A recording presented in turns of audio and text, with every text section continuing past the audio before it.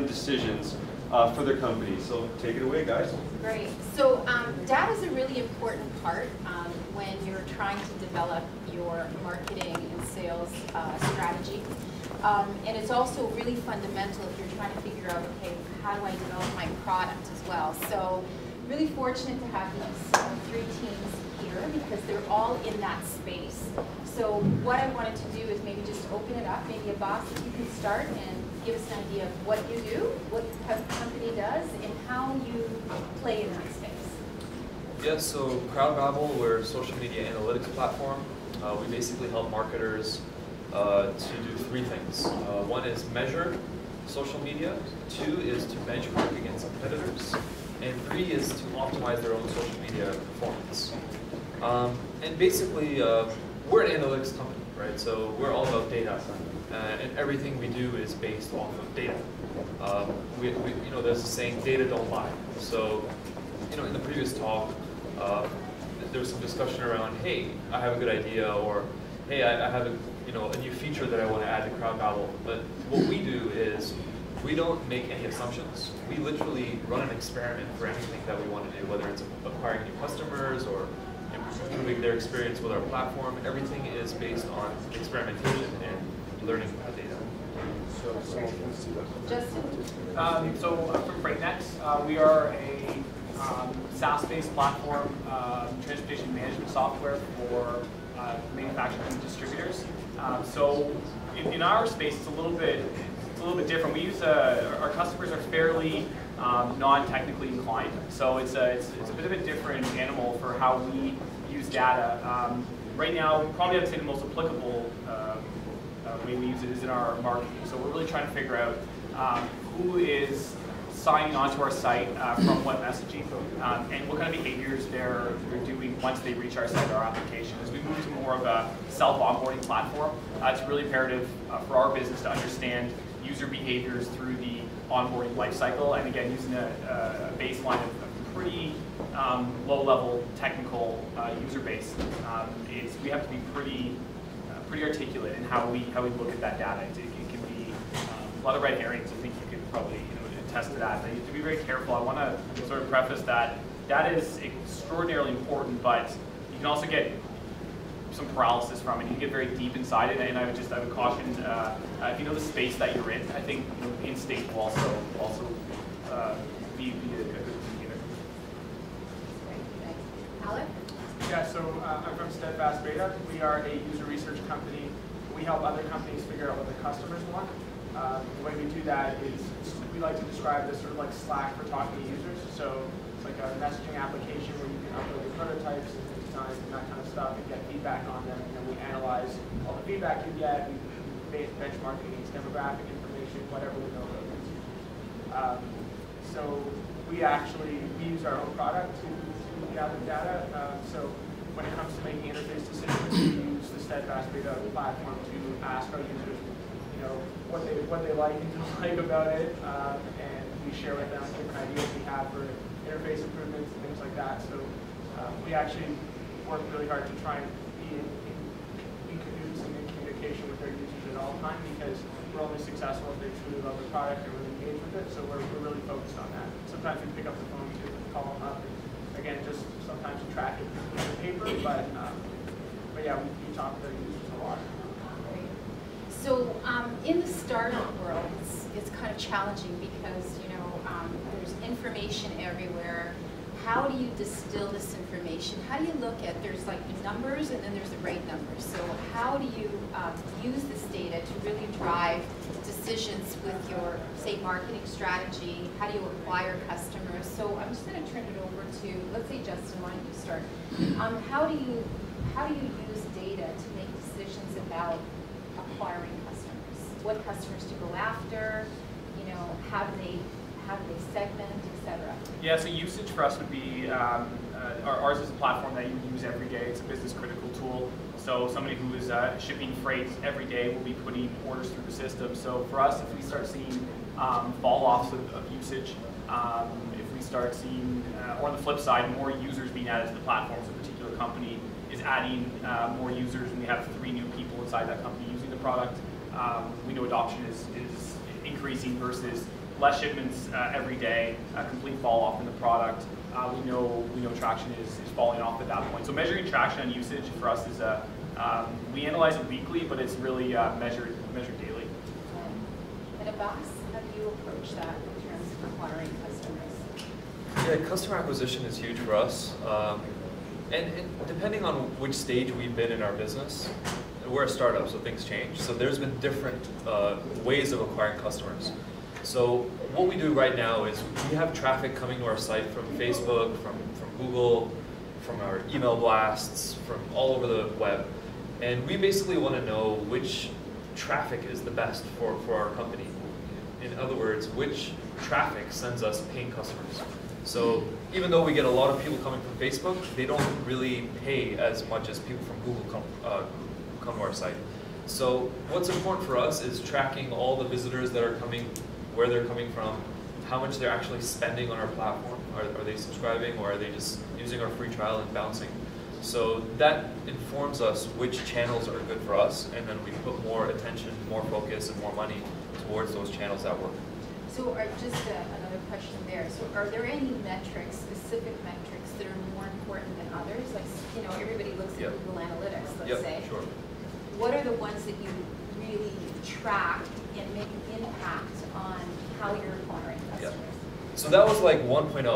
Yeah. Let's just get users, let's get them paying. Right. Number two is then, how do we get more of these high quality users? And that's where we go deeper and start dissecting our data at another level. So what we did recently is we're trying to figure out what are the triggers that people take before they pay.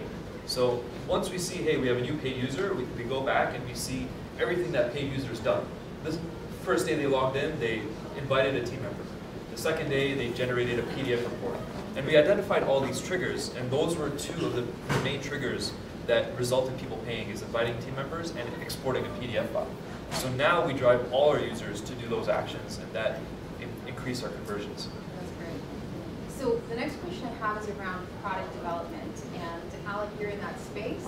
Um, how do you recommend or use yourself data to help shape the product that you are putting in the market? So, so before we, we think about building anything, um, we really try and uh, develop a theory for, for why we should build it.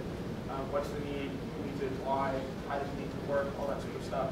And before, you know, I, before any of our developers or, or design lead touches anything, we, we go out and we try and validate that. So sometimes that's little bit more scaled methods like um, you know, using our own, our own product, for example, to get to get that sort of feedback where yes, you know, I don't like this about your product, it'd be great if you could improve it, right? And then we'll say, okay, so part of that theory is validated because, you know, 80% of users said that, you know, this was a big issue for them. Um, and sometimes when we have these theories, they, they prove to be wrong, where, or, or that, uh, or in some cases where we're sort of right, but, but we need to do some more digging we don't have the full picture. So, um, the way we, the way we sort of approach it is before we make any investment of time or resources into anything to the product, we say, okay, how can we make sure that this is a really well-educated yes and, and validate as much as possible before moving to the next stage. So when we have a design idea, we'll go and put that in front of users before we go invest the coding resources into actually building it. And before we go and launch it, where, where now you have something live and the old thing is gone, let's make sure we put that through a beta with enough users where we can say, you know, definitively the user experience is better, this is something that people want. So we sort of like have a gated approach where if, if the data talking to users doesn't say that this is better or that this is solving the problem, then it doesn't move any further. And that way we can allocate resources uh, properly. That's great. Okay, so what about the tools, some of the tools that you guys use? Because, I mean, um, I think as a startup, we all have to be, you know, really conscientious about spending money, and free tools are always great.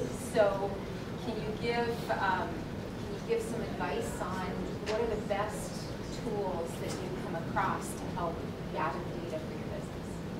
Bas? Yeah, sure. Um, so we started using this one tool around the beginning of the year called Mixpanel. So I don't know if anyone's heard of Mixpanel. Um, it basically allows you to track every event that happens in your app. So when a user invites a team member, you can track that as an event in your app. And what you can do is you can look through specific users and, and see everything they've done over their lifetime. But you can also look at the data in aggregate. So you can see that, hey, during the month of September, how many people uh, out of our 2,000 users actually invited their team members. So it, it's pretty interesting that way. Um, it's, it's free up to a certain limit. We're still on the free plan. Um, but I found it a little bit uh, difficult to manage when your app is changing so quickly. So we, we added new features like almost every day. And then we got to go back, add it in the Mixpanel. We, we got to test it, make sure everything's working okay. So it's, it's a good place to start. But I just found a tool a couple weeks ago that literally knocked my socks off uh, called Full Story. And I don't know if anyone's heard of that. It's basically a DVR for your customer experiences. So you can go in and see every single person who's used your, your app or your site and play back their interaction with your site as a video. And you can watch it in like 4x mode, so you can like speed through it. But this really uh, gives you more than just what data provides. It actually shows you where their mouse is going, like click rate, if they're clicking on something. So it's like, it's like being, like, being the fly on the wall? like, Yeah, basically, And right? just standing over somebody's Yeah. shoulder and seeing, that's awesome. It's like you're, you're Yeah. like a, you know an agent, a secret agent, and Yeah. you're like tapped into someone's computer, so it's pretty cool. But it's it starts at 200 bucks. It's not cheap. Sorry, what's 200 a month. Full story. Full Street, so- Yeah. And is that, is it two hundred dollars a month or two? Yeah. So- Basic uh, plan is 200 bucks a month. And then it scales up from there? Yeah. That's great. We're on the 200 bucks. That's great. How about you, Justin? Any, any fantastic tools you've come across? Yeah, so we use a similar, um, similar product, this is, that's a great tool, by the way, that's, that's, I've never heard of that until this moment, and that's, that's, what we need that exactly right now, it's actually a perfect, perfect play for us. Um, so Intercom, uh, is, a- is a product that we're using, it's a newer company, um, 500 startup company, I think. Really, really cool as far as, again, analyzing customer behavior. For us right now, we're trying to prove a lot of uh, onboarding concept. So when people are coming into our app and they are signing up, and it's about a four-stage sign up, um, so we can see them that they've come to the site, but we want to know where they're falling off. So we can iterate back on that and, and try to create some hooks that will bring them further down the, the uh, down the stream into the product. We know once they get into the product, we've seen from um, user behavior that's fairly sticky ones inside. But we're struggling right now trying to get them from finding us on, say, an AdWords campaign, clicking on a, on a, on a landing page, and going through the onboarding setup. So we're trying to move people through the onboarding, and Intercom's been, been really critical to, to that. Um, there's a, uh, it- also integrates into your application, so this is where you'll do uh, internal messaging. So it's, a hey, it's Justin from FreightNext, how are you? And you can speak in, inside the application too. So it doubles as a, as a couple other products, but really beautiful as far as uh, uh, usability, super, super simple, um, and, really insightful to, again, user behaviors. Um, and then the final piece would be throwing this one on, on the end to see what they're actually doing. That's, that's a, killer. Yeah, I- I'm definitely uh, impressed with, with Intercom as well. Um, I, I just, I love talk, like talking to users as an idea, like actually having conversation with people, and Intercom lets do that, um, which I think is fantastic. Uh, the other thing that I, I personally like is a company called Heap Analytics. Um, and the reason I like them is because uh, I'm not very technical. Anything I've ever built has been burned and thrown out by my co-founders, um, for the better.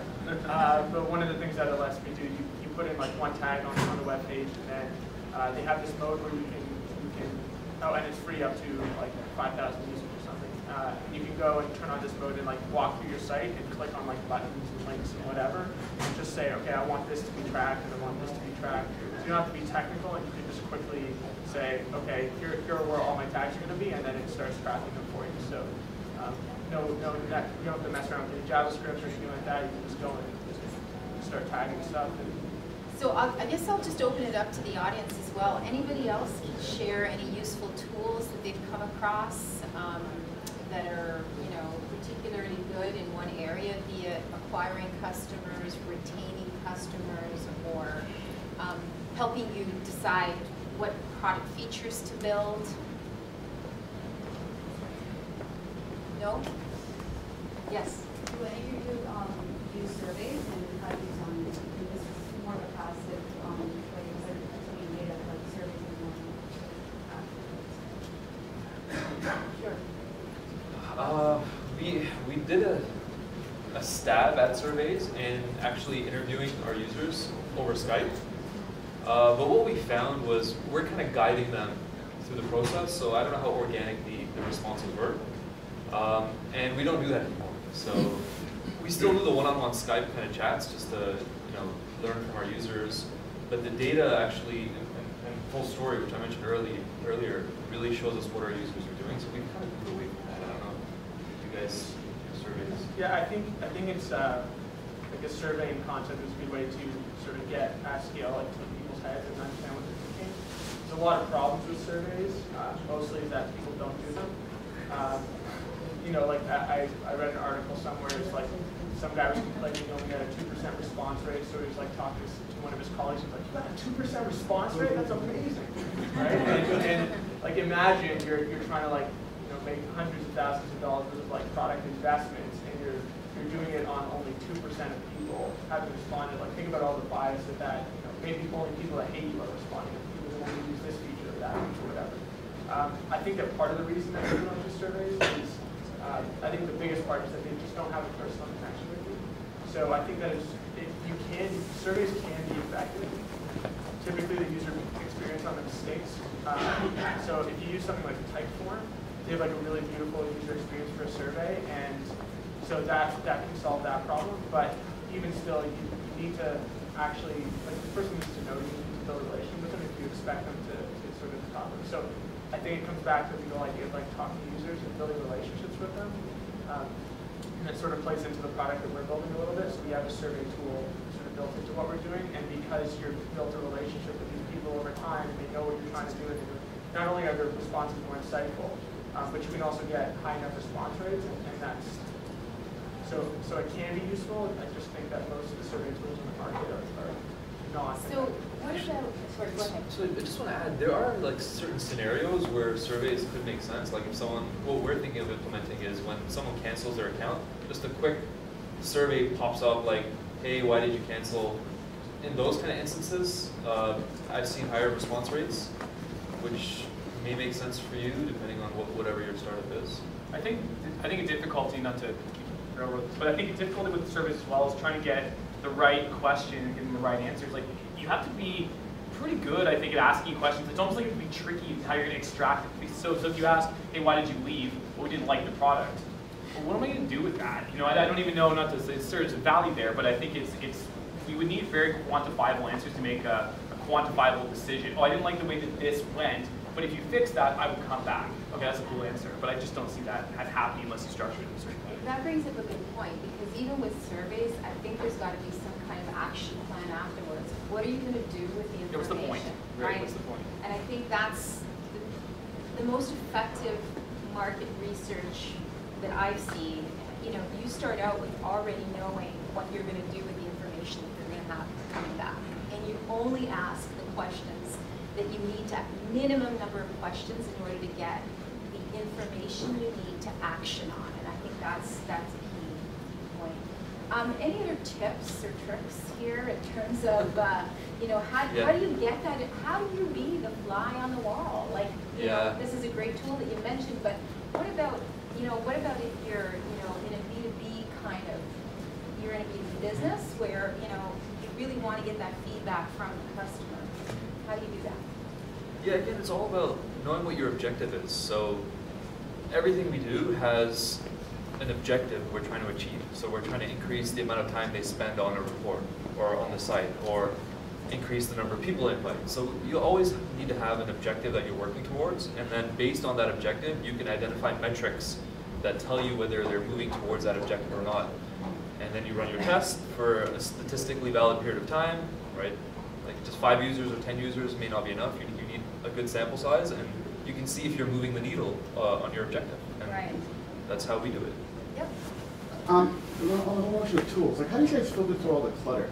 I mean, every day there's like thousands more analytic tools, and then there's the most popular ones, and, and you reach a certain point where you're thinking, am I using this because it's popular, or am I really getting, you know, Yeah. actionable insight I think this? depending on what type, what, what space you're in, what type of business you're in. I mean, for us, this goes back to that question. Like my co-founder right now is at our customer's location today. So we released a new product, and for us to get good testing, we sit with our customers, and so we go into their place, we look what the, we we see where they sit, we see what, a thing we learned very early on when we were pushing our product out is we were going to build a, um, a fully responsive app, which would make perfect sense. That's how you build apps today.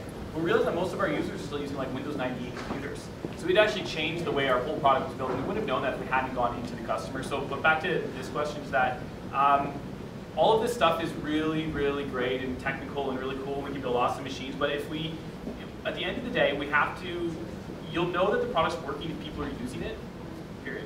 And then everything else is just to sort of enhance that and trigger that. But getting that initial first sort of 10 people in the door using the product, that's going to be non-scalable stuff. That's just going to be really going out to the customers, getting to know them, understanding their pain, solving a real world problem. Um, uh, and then after that, you can start tweaking on stuff. You'll know what works for you because each business, all these products have something that's very specific to your type of business. So where we may use same analytical tool from the surface, there's a feature that works for my business um, versus maybe Abbas's that we would use different different things. So I think you cut through the noise when you really understand your product and really understand your customer. Things will just things will just seem more clear. It'll just all this stuff, things will just start to kind of go like this, and you just start to understand where you're going. But I can't I can't stress enough just to get in front of your customers and understand the real problem that you're solving and not get lost in, in the cloud of tools and automation and scalability and all that bullshit. So Um, how do you get in front of the first customers?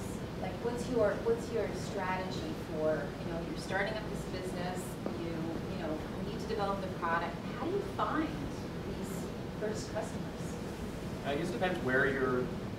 From, for me, the space that I came from was, you know, I had domain expertise, and I think a lot of good companies are founded from it was a problem that I was having, or I was in an industry that was solving that problem, and I felt like I could do it better. So I think we already have it. We should have, anyways, a direct connection to the problem or to the customer from day one. Um, and then it's just, uh, for again, for us, I'm more of an old school guy, so it was just about hustle, is great. Just going out and literally knocking on the door, making a phone call, just doing the stuff that doesn't scale at the beginning for me. Yeah, that's interesting, Alex. So what's been your experience in terms of like, you know, I have a problem, I, I'm gonna be my first customer, basically. How do you get to the next one? How do you find the next one and the next one and the next one? Because it's the first few customers that are the hardest to get, right? Yeah. All hard. They're all hard, but, Um, I mean, for us, uh, I tried, I tried a lot of different things. Like I tried going to a bunch of events and just talking to everyone I could and just, I mean, one, one of the difficulties with that is like you're gonna hear no for like months and months and months. And are gonna say like what you're working on is gonna get stupid or whatever, like they don't get it.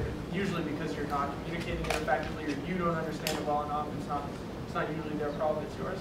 Um, but I, I did a lot of that. Um, and that got us that got us our first couple customers. I would say just happened to work, but we tried other things as well that didn't work. I think the the more useful experience that I've had with this was when I was working at my last company. We were building a tool for biomedical researchers, and if you it's, it's really not that hard to, to like locate these people. They're, they're in the hospitals and the labs, and and you just you just go there and you like offer to buy someone a Starbucks card if they like sit down with you, right? And like that's we've been I've been doing the Starbucks card thing for, for years, and it's like it's, it's honestly it's so effective. Like people will give you like half an hour of their day for a freaking latte. It- don't give them cash because it doesn't feel good for them. You give them a latte, they will they will sit down and like work through your product with you like just every step of the way. and that, that brings up a good point, guys. Just because we're in the tech business doesn't mean that every solution has to be tech-based because um, there's something really important about relationships and building those relationships with customers and really getting that insight first in order to help inform how your product's moving forward. I think we're getting the hook here, right? Yeah, I'm just, um, I think one, one more minute and we'll move on to the next speaker. Any other, sorry? I just want to add to that. So like another another good scenario to be in is having customers before you've developed the product, right? And, and what we did with CrowdBabble is we just had a landing page, classic lean startup.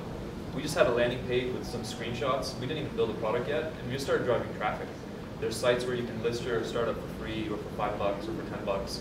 You can buy Google ads, Facebook ads. You can just start driving traffic, and when people go to sign up, you say, hey, sorry, we're, we haven't launched yet, but if you leave us your contact info, we'll, we'll let you know when we do launch. We had like a thousand people before we even started building the product. Yeah, that's a great strategy if you have a B2C business, because B2C businesses are especially hard, right? Because how you find. It works B2B too, I think. Yeah, I, I wouldn't B2B. ever build a product any other, like I would do, no, I would never write a line of code until you've done that. That is, that's absolute critical, critical starting point. Why spend any money, any time on an idea that's not gonna work? That's how you, that's how you validate the market, right there. That's, that's the perfect example. Okay, one last question? Um, what uh, role does intuition play in uh, gathering data? Do you, is there, like, there's a lot of fluid and contextual sort of um, context around every single data point, and do you have a very like sort of contrarian approach where it's like intuition and data, or do you have a combination between the two? I think intuition frames your data collection when you use the data, right?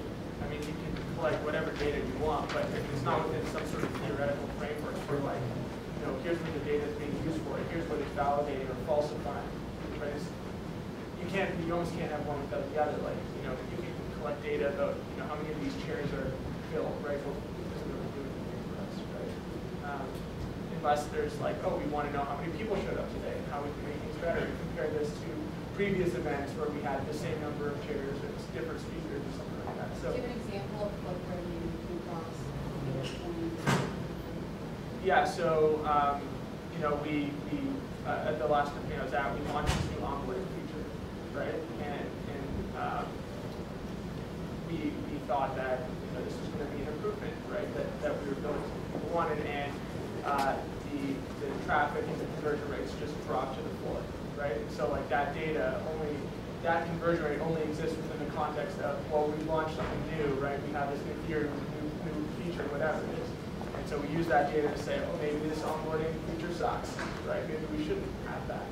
Maybe we should turn it back to what it was before, whatever it was, right? But it, the, the data is, is, is the, what you use to falsify or, or validate the theory or, or whatever it is you're building. I would say to that, that there's sort of two components. If you're like inventing something, like truly bringing in something that is, nobody's ever seen it, then I think intuition is going to play a huge role in that because you have to deliver that and you have to know what the end user or potential customers are going to want before they do. They don't know what they don't know.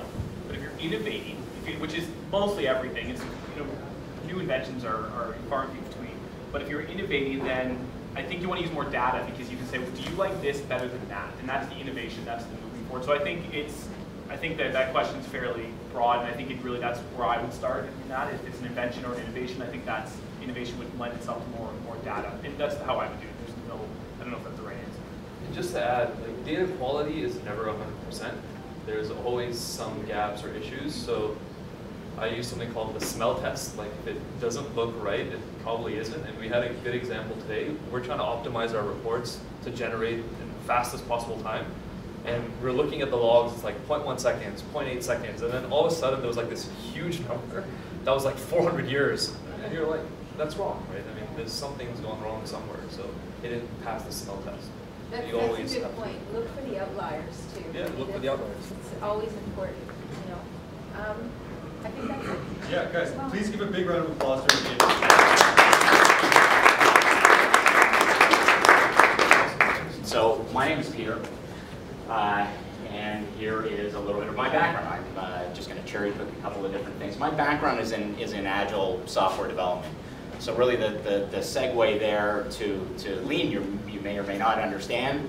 Uh, it really, for me, comes from agile software development. My background is as a geek, uh, so software developer. Uh, and from a startup perspective, um, I work with startups as a service provider mostly, although I do have entrepreneurship background, but that's not been my more recent past. Uh, so I've been a, uh, a judge and a judge selector, I guess, as well as a mentor at Lean Startup Machine. So a lot of the principles that you guys are going to hear about today uh, fit nicely into Lean Startup Machine. And I've also got some VC experience. I've, I've done some consulting with a, with a fund uh, here in Toronto that I believe is still in uh, capital raise mode, which is why that says past investment committee member. All right, just a, a question for you guys. Who, uh, who has a company that they have started already? So right now has a company. Okay, great. Who's got an idea that they would love to turn into a company? All right, about half and half. So interesting. So, the, so really, the, the, the context for those of you who have a company already would be along the lines of what the panel was talking about right at the end, and that is, I'm going to launch a new feature. Does anyone actually really care? Will anyone actually really consume it? Will I make any money on it? For those of you who've got an idea, this is all about, is anyone going to care about the core idea? you, you can really, it's, it's really the, the latter more than the former, but you can really apply it to, uh, to launching a new feature as well. Um, so in terms of lean startup, who's got lean startup experience? Who's used the methodology before? Any of you guys? Okay. Understand but not use. Okay, well, Wish wish that I used it in the last five projects. You're gonna get a super, super quick level set, just so I can use some of the terminology, but that's it. So really intended to be right across the top. Uh, this is what the, the, what the method is meant to do. These are the milestones. So, starting from the start with the grandfather of it all, uh, Steve Blank, um, who's uh, now a prof at, uh, at Stanford, and really came up with the whole uh, customer discovery process. I'm sure you guys know that. And he said your startup is essentially an organization built to search for a repeatable and scalable business model. So really, that is has nothing to do with being an actual company. So a startup isn't some small version of a big company. That is absolutely not what it's for. It's almost in essence throwaway, which is why we're going to get into minimum viable product in a second and the, the, the nature of its, uh, well, its purpose and why it's throwaway. so lean startup, really, again, at a really, really high level, goes through three different phases. First one is, do I have a problem that anyone actually has that is worth solving? So there's really two, two, different, uh, two different answers you're gonna get. Worth solving means, is it viable? Could I even make any money off of this? And the first one is, does anyone actually really care? Does anyone really have that pain? And I, and I think I heard one of the speakers talk about that, that notion of pain. So from that, what you tend to do is construct a minimum viable product. That's what MVP is, as I'm sure you guys know. Next phase is let's actually measure usage of that MVP. And you heard these guys talk, and obviously they've got existing products, but they're, that, that's actually a lot of the tools that are out there. So making the assumption that this is manifesting in some kind of tech, web interfaced product, um, they're gathering metrics on that MVP. That's what this means. Once you gather those metrics, you understand whether you've got traction or not. From there, once you have that traction, if I had a ridiculous hockey stick graph here, we would be at an inflection point. So let's say that's revenue and this is time. We'd be at this inflection point and we'd be able to scale, which means every dollar that we add here multiplies by whatever, 10 times, let's just say. That's really where investors want to invest, is where you're at that inflection point where they can add dollars and you can scale and, uh, and, and, and get that, that multiplier. Uh, so why would you even use this stuff? What is the point of it? It's, it's really a, a risk mitigation method the end of the day. It's intended to take the luck out of the equation. There is absolutely nothing stopping from you guys who have ideas or you guys who, want to launch new features to just really, really, really believe in your baby and go for it. You can do that. But what this is intended to do is to, is to de-risk at the end of the day. So why do you want to do that? Really, for me, it's so that you can stop wasting your human capital. You could have worked on something else, really, if you had validated it. Um, and for me, this Drucker quote really sums it up. There really is nothing so useless as doing something efficiently, which I shouldn't have even done in the first place. So, how do I actually go about doing this? It takes a whole heck of a lot of discipline to take that luck out of the equation.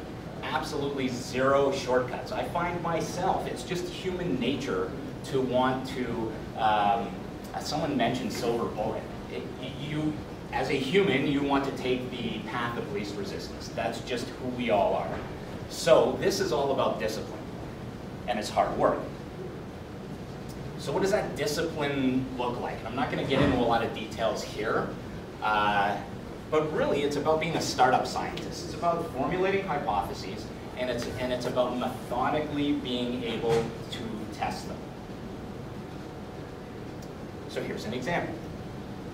Let's just say that I want to validate that eating 10 Big Macs a day causes weight gain. That's a hypothesis. Can you guys think of any improvement in terms of how to make this hypothesis more testable? So back to, whoops, sorry, that quantifiable, negatable, doable, repeatable.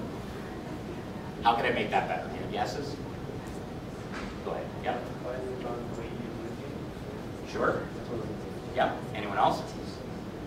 I mean, what if, what if I was, fine, I'm eating 10 Big Macs a day, but what if I'm eating 10 Big Macs a day and four McChickens, or, uh, I don't know, uh, eating eight slices of pizza? So I've got to be a little bit more precise. I could actually invert this and say that it's completely unaffected and try and prove that. So there are all sorts of different ways to set up your hypotheses. All that to say, spend some time thinking about this. You can't just kind of throw a hypothesis out there and, and then start validating it. And I find that there's a bit of an iterative nature to this. So you'll come up with a hypothesis, you'll attempt to create a test for it, you'll begin to test it and realize, hmm, no, this, this does not hold water. I've got to say, oops, no pointer, only, let's say, and then create another test for it. Okay, so what we're gonna focus on for the rest of this is really right here, MVP. So am I going to build, am I going to focus my time on something that people actually really want? So how do I, what is the thing that I'm going to build to figure that out? What is the test that I'm going to run based on the hypothesis that I have? so I'm going to give you guys a case study for a startup that I'm working with right now. So um, this, is, this is someone at the idea stage, so it's myself with the founder. Uh, this founder comes out of the fashion industry, so he's a senior VP at Holt's uh, most recently. Uh, and he came up with an idea that he called Vestia, unlock the value in your closet. So the theory is, or the product idea is, uh, that we all have lots of items in our, in our closet that sit way at the back that we never use. We may or may not even know they're there. So the theory is if you could actually uh, understand what all those items are and how they might combine with things that you do wear, you might actually wear them more often. You would therefore unlock the value in some of those items. Now certainly uh, there's a play to this where there's a retail side to this. Perhaps there's a suggestion mechanism that, that fits in. We're not even there yet in terms of theorizing where this product will go certainly on the back end, just from the, the founder's experience, there's a data play here. So if we can figure out a way, so the theory goes, to collect all this data, i.e. some element of clothing in the back of your wardrobe or the front of your wardrobe, simply collecting that data, we would be able to provide a really important mechanism uh, for assortment planners. My wife happens to be one of them, she's a buyer for the Bay. Uh, to make decisions about, say, putting sweaters in Thunder Bay versus at Queen Street uh, in Toronto. So that's really the end game for this stuff. So now that you got the picture, I'm going to go into a little bit of the process that we followed to, uh, to, to get to the point of determining what our MVP should be and as minimal as it possibly could be. So the first thing that we did is we tried to figure out what in the world are our assumptions? What, what, are, what are these things that could break this whole business model from what we know about it right now? Um, so has anyone used mind mapping as a tool to brainstorm? Yeah, really, really, really useful. So basically what we said is, I don't know if you guys can read this, so right here, one of the questions we had is how can we get the customer to capture the data? Because at this point in time, that was really the, that was really the, the play. Honestly, pretty much a Trojan horse to get that data so that we could sell it back to, to retailers and brands. Excuse me. So what would make the customer want to capture the data was at the center here. And this was really where we started focusing our first, uh, our first test. So we had all sorts of different ideas, ability to create outfits, ability to sell unused, unwanted items, uh, ability to showcase your wardrobe from a social perspective, um, ability to get trusted or professional outfit advice, let's say from a stylist or something like that, which of course then spawns a whole other one of these bubbles. What would make the stylist actually want to provide that advice? That's down the road. So we were going to we're validating this first and then validating the other side of that, uh, of the model. So one of the things that we decided to do very early on, I, I come from a pseudo-stats background, emphasis on the word pseudo. Uh, so what I, what I wanted us to do was to make sure we avoided bias. So before we ran any experiments at all, this is actually a survey that we put out to, to narrow down uh, what we were going to test. and you can see this question right here says, to what extent do you care about getting the most out of each item in your wardrobe? And we had some options. Then, depending on how you answered there, we asked a second question. This spreadsheet goes down probably about another 40, 50 rows, because it's really the combination of these two questions. Um, and in, within each combination, or depending on how they, if they combined or not, we were setting up how we were going to make the decision ahead of time. So that when the data started rolling in, we were going to protect ourselves from our own bias. Because that happens. The data starts rolling in, it's your baby, and you want it to succeed, therefore you have bias towards it succeeding. This keeps you from doing that. So uh, without, you know, before we even sent the survey out, what we came up with were all these different options for what we would do if we got responses that looked like this. So the actions that we had enumerated were depends on rest of the answers, pivot, find another problem, persevere. I should add one other quick tidbit. We did some, some up here our, our, is our research for, uh, for our total population size. So we took a look at working age population in Canada, because that's where it was going to start, and we eliminated nudism as, um, as you know, out of that population. So obviously you got to have clothes in order to have them in your wardrobe, and we thought you have to buy them. So that number is 24.5 million, and we basically did just did some some, some basic sample sizing to come up with a confidence interval. And so this is something that you will read in the lean startup uh, literature as, uh, I think there are two different schools of thought. One school of thought is, no, no, no, no, no, you can be, don't worry about statistical significance at all. Uh, the other school of thought is, I, you, you really should. I, and, and for me, it depends. It depends on the bet that you're making. So in this particular case, um, this was really early on, and what we were trying to figure out is if this was something we were gonna we were going to pursue or not. It was a fairly significant bet that we were making. So because of that, we got a little bit more analytical with our with our population size. So we said, you know, if we want to be uh, plus or minus minus five percent, 19 times out of 20, which is all that means. You guys have probably seen that a million times in, in newspaper articles, especially around election time then we need a sample size of 385 on that, on that population size. So we were going to wait until these answers started rolling in. And what that meant is we could be 19 times out of 20 confident that you know this was either going to be 30% or 20%. That's really all that meant. So we played around with that data and used this to avoid our bias. So what we ended up with was based on that information, based on some other research we had done, we wanted to try and test this thing. What were people actually going to do versus what they were telling us in a survey? Big difference. So, has anyone seen the movie Clueless? Clueless, anyone? Clueless? Well then you yeah, no, don't, don't, yeah, you don't have to bow your head in shame. I've seen it, and unfortunately I've had to watch this scene another 55 times since I, since I started working with this startup, because in essence, this showed up on Alicia Silverstone, whatever in the world her character name was, showed up on her screen at the start of the movie. So she had this big, massive wardrobe, and these items of clothing had switched back and forth when she just went, you know, either auto dress or dress me. She has all these things categorized. So originally, when uh, Vikash, who's the startup founder, came to me, this was the idea, and the question was, how expensive is it going to be to build this? Said, okay, fine, I, I see why you're going that way, but let's first figure out what in the world we need to test and how we're going to test it. So if that was an MVP that in my mind was not particularly minimal, what would you guys have done to make that more basic and test the same thing? Any ideas? Anyone? Anyone? No? Not this quickly. What's that? Not so quickly. Me about- give me about half an hour. Uh, I don't think I can give you half an hour, unfortunately. I'd like to, but. All right. Use paper. Use paper. Who said that? I may have talked to him about this already. No, I don't think I have. But yes, Paul, use paper. So that's exactly what we did.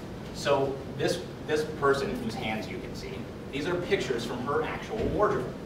So what we did is, excuse me, we had her, and this was one of the other assumptions we had validated, we had her with her, she had a friend doing this obviously, with her smartphone, take pictures of her in, don't worry, she's got clothes on under here.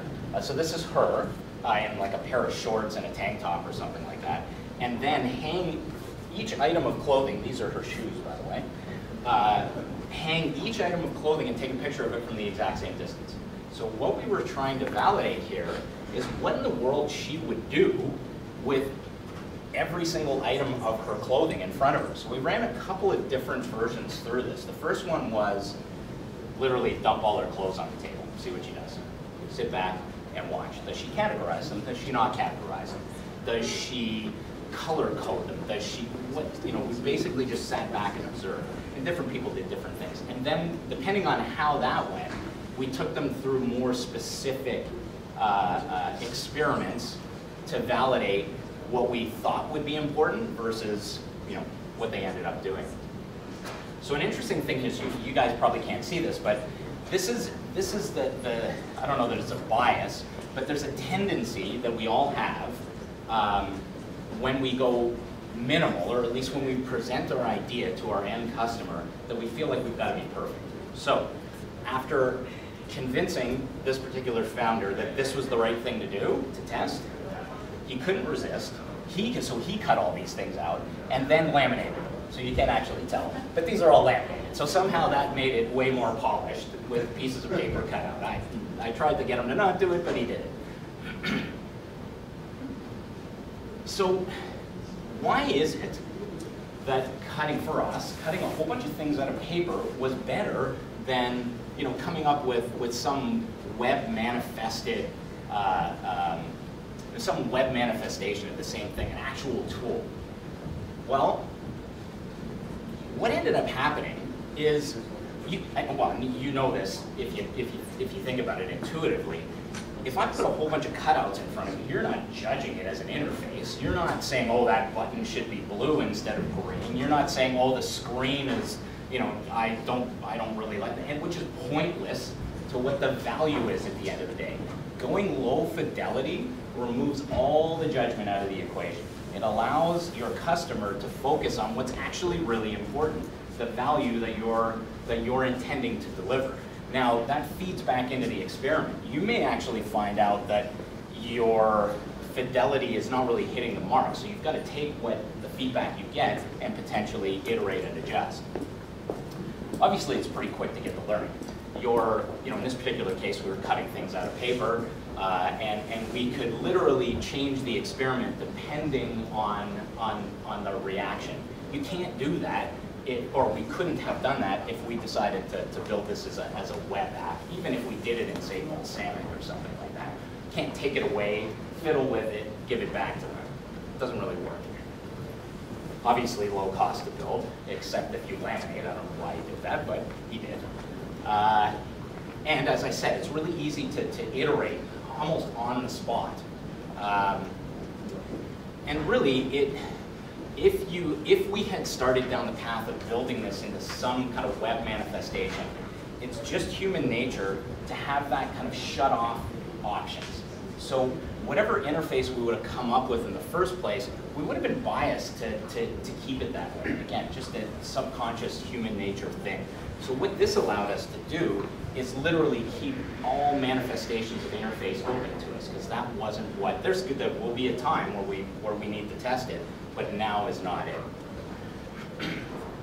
so really, when you think about this kind of low fidelity nature of, of testing, of being as minimum as you possibly can, and you think about why you don't really want to do it, this is it. So Kent Beck is actually a, uh, an agile software guy. And uh, yeah, I mean, as you, as you think about the real reason, it's, it's not wanting to know that your, that your baby's uh, in essence. Um, and that's what keeps us from doing it.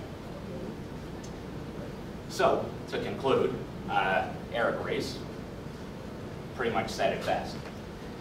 To me, it's, it's, it's the discipline, it's the rigor of trying to figure out first whether you've got something that people actually want uh, before just throwing it out into the world and you know putting all your efforts into it eating ramen noodles for 98 days straight. That's not what this is about. It's really this boring stuff, this disciplined, process-driven stuff that at the end of the day gets you just that little step closer to succeeding because you're de-risking at the end of the day. So that is it. This is how you get in touch with me, and thank you guys very much.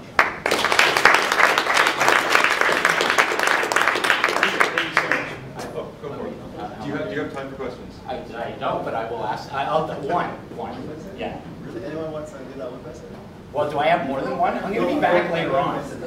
Yeah? Uh, I just want to understand about, I guess, like, um, problem set, uh, MVP, and I guess, like, I guess monetization.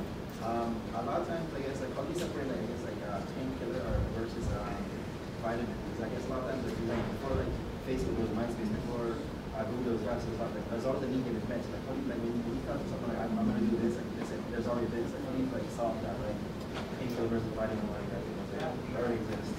I mean, in the context of, of this, uh, and, and I'm just gonna contextualize it as trying to MVP something in the most minimal possible way. I, I mean, the, the pain is the pain at the end of the day. So if you're, and I, this isn't going to answer your question because we have to get down to the root of what it really is. To me, it's, uh, it, it's all about trying to find it through experimenting with it. So whether, you know, whether it's vitamin versus painkiller, I don't know that I really care at the end of the day you're getting gain versus avoiding pain. Who cares? But go and put something in front of your customer that elicits whatever it's going to elicit. Then make your decision. So if you've got an idea, I think that's where you, that's where you got to start. I don't know if that answers the question. Yeah. All right. Good. Anyone else? Yep. Don't you think, don't you think that, um, so uh, doing this minimal viable product with paper is Yep. kind of easy to imagine? And uh, Okay. validating the texture and actual interaction using the, for example, screen, uh, app is actually, uh, you know, something that works uh, more with this kind of approach instead of just uh. Because that's something that uh, uh, is needed to be validated. Certainly, I agree with you. And so the question is? The question is, uh, uh, like, why, uh, why don't you, you know, um, because I think that's more crucial. Do you? Yeah. The, So you're a- for you're- app like this. You're a function over form guy. Uh, I, I agree with you, but there's a time for it. So the issue is if you put form in front of someone, you're going to get, uh, you're going to elicit feedback on form instead of function. If that's what you really want to do, there's a time for that. But to me, at idea stage, that's the, a hundred percent the wrong time you've got to figure out whether the function that you're delivering is the function that is required at the end of the day. If it isn't, who cares if you've got a beautiful interface on it or a well-designed single-page app, or I could care less. It's timing for me. Yeah, yeah, but, you know, I, I just think it's, uh, it's kind of important. I, I don't disagree with you that it's important, but what I do, where I do disagree with maybe, or maybe we agree, is it's timing, right? You gotta do it at the right time. If I can just add, um, there's all the folks you read, um, the customer's not interested in the features, they're interested in the benefits that have address the problems they have. Yeah, they don't give. They don't care about how, About your, why you do yeah, it. yeah, they give a shit about their problems, right? I wanna know, what have you done for my problems? So Absolutely, they just wanna yeah. know what the benefits are that help address the problem. Yeah, exactly. Yep. And you, when I, I'm gonna be back later on, I feel like I, you know, stay all week, try the beef, I don't know. Um, oh, I'm gonna be back later on, so, uh, yeah, feel free to come up and talk to me over a beer. So um, he means uh, later on at about 8 p.m. So Oh, give it sorry. up for Peter Lopien. afternoon segment. I see a couple of new faces here as well. Um, we've got a pretty awesome afternoon planned up for you. To my right is a speaker. His name is Alex Lynn. He's Director of Platform at Highline VC. And he's going to be leading a talk on how to effect change, but more importantly, he's going to pre- present some alternatives besides the lean process, which I think is going to be extremely interesting.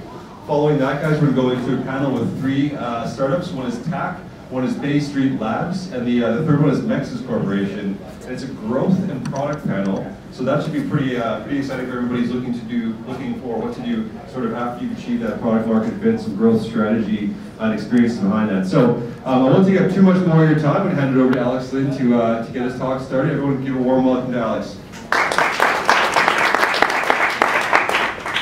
Thanks, Michael. Really appreciate the opportunity to be here. Uh, nice to meet you, everyone. Um, as Michael said, you know, I'm going to talk a bit about change, uh, change more broadly, how to affect it, because as founders, as people that are working in startups, uh, change is ultimately sort of what you're aiming to accomplish. Uh, and I don't think that there's a single way to accomplish it.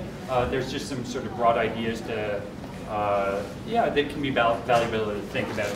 Um, so you know, a bit of my background, uh, I'm director of platform at Highline, uh, which is a early stage venture capital fund here in Toronto and Vancouver. Uh, I've spent most of my life so far helping organizations scale. I've worked with large organizations in the agency world, uh, some of the largest companies on the planet, like Absolut Vodka or Adidas Originals, helping them figure out how to make better use of technology to develop new revenue streams in the future. Um, and also have spent a lot of time in the venture capital world, which has given me a unique sort of lens on the full spectrum and breadth of companies from sort of two to three man shows uh, to you know multi-thousand person companies. Um, and I've learned a lot about sort of how change happens in an organizational context. And I figured that I'd share a few of those lessons today.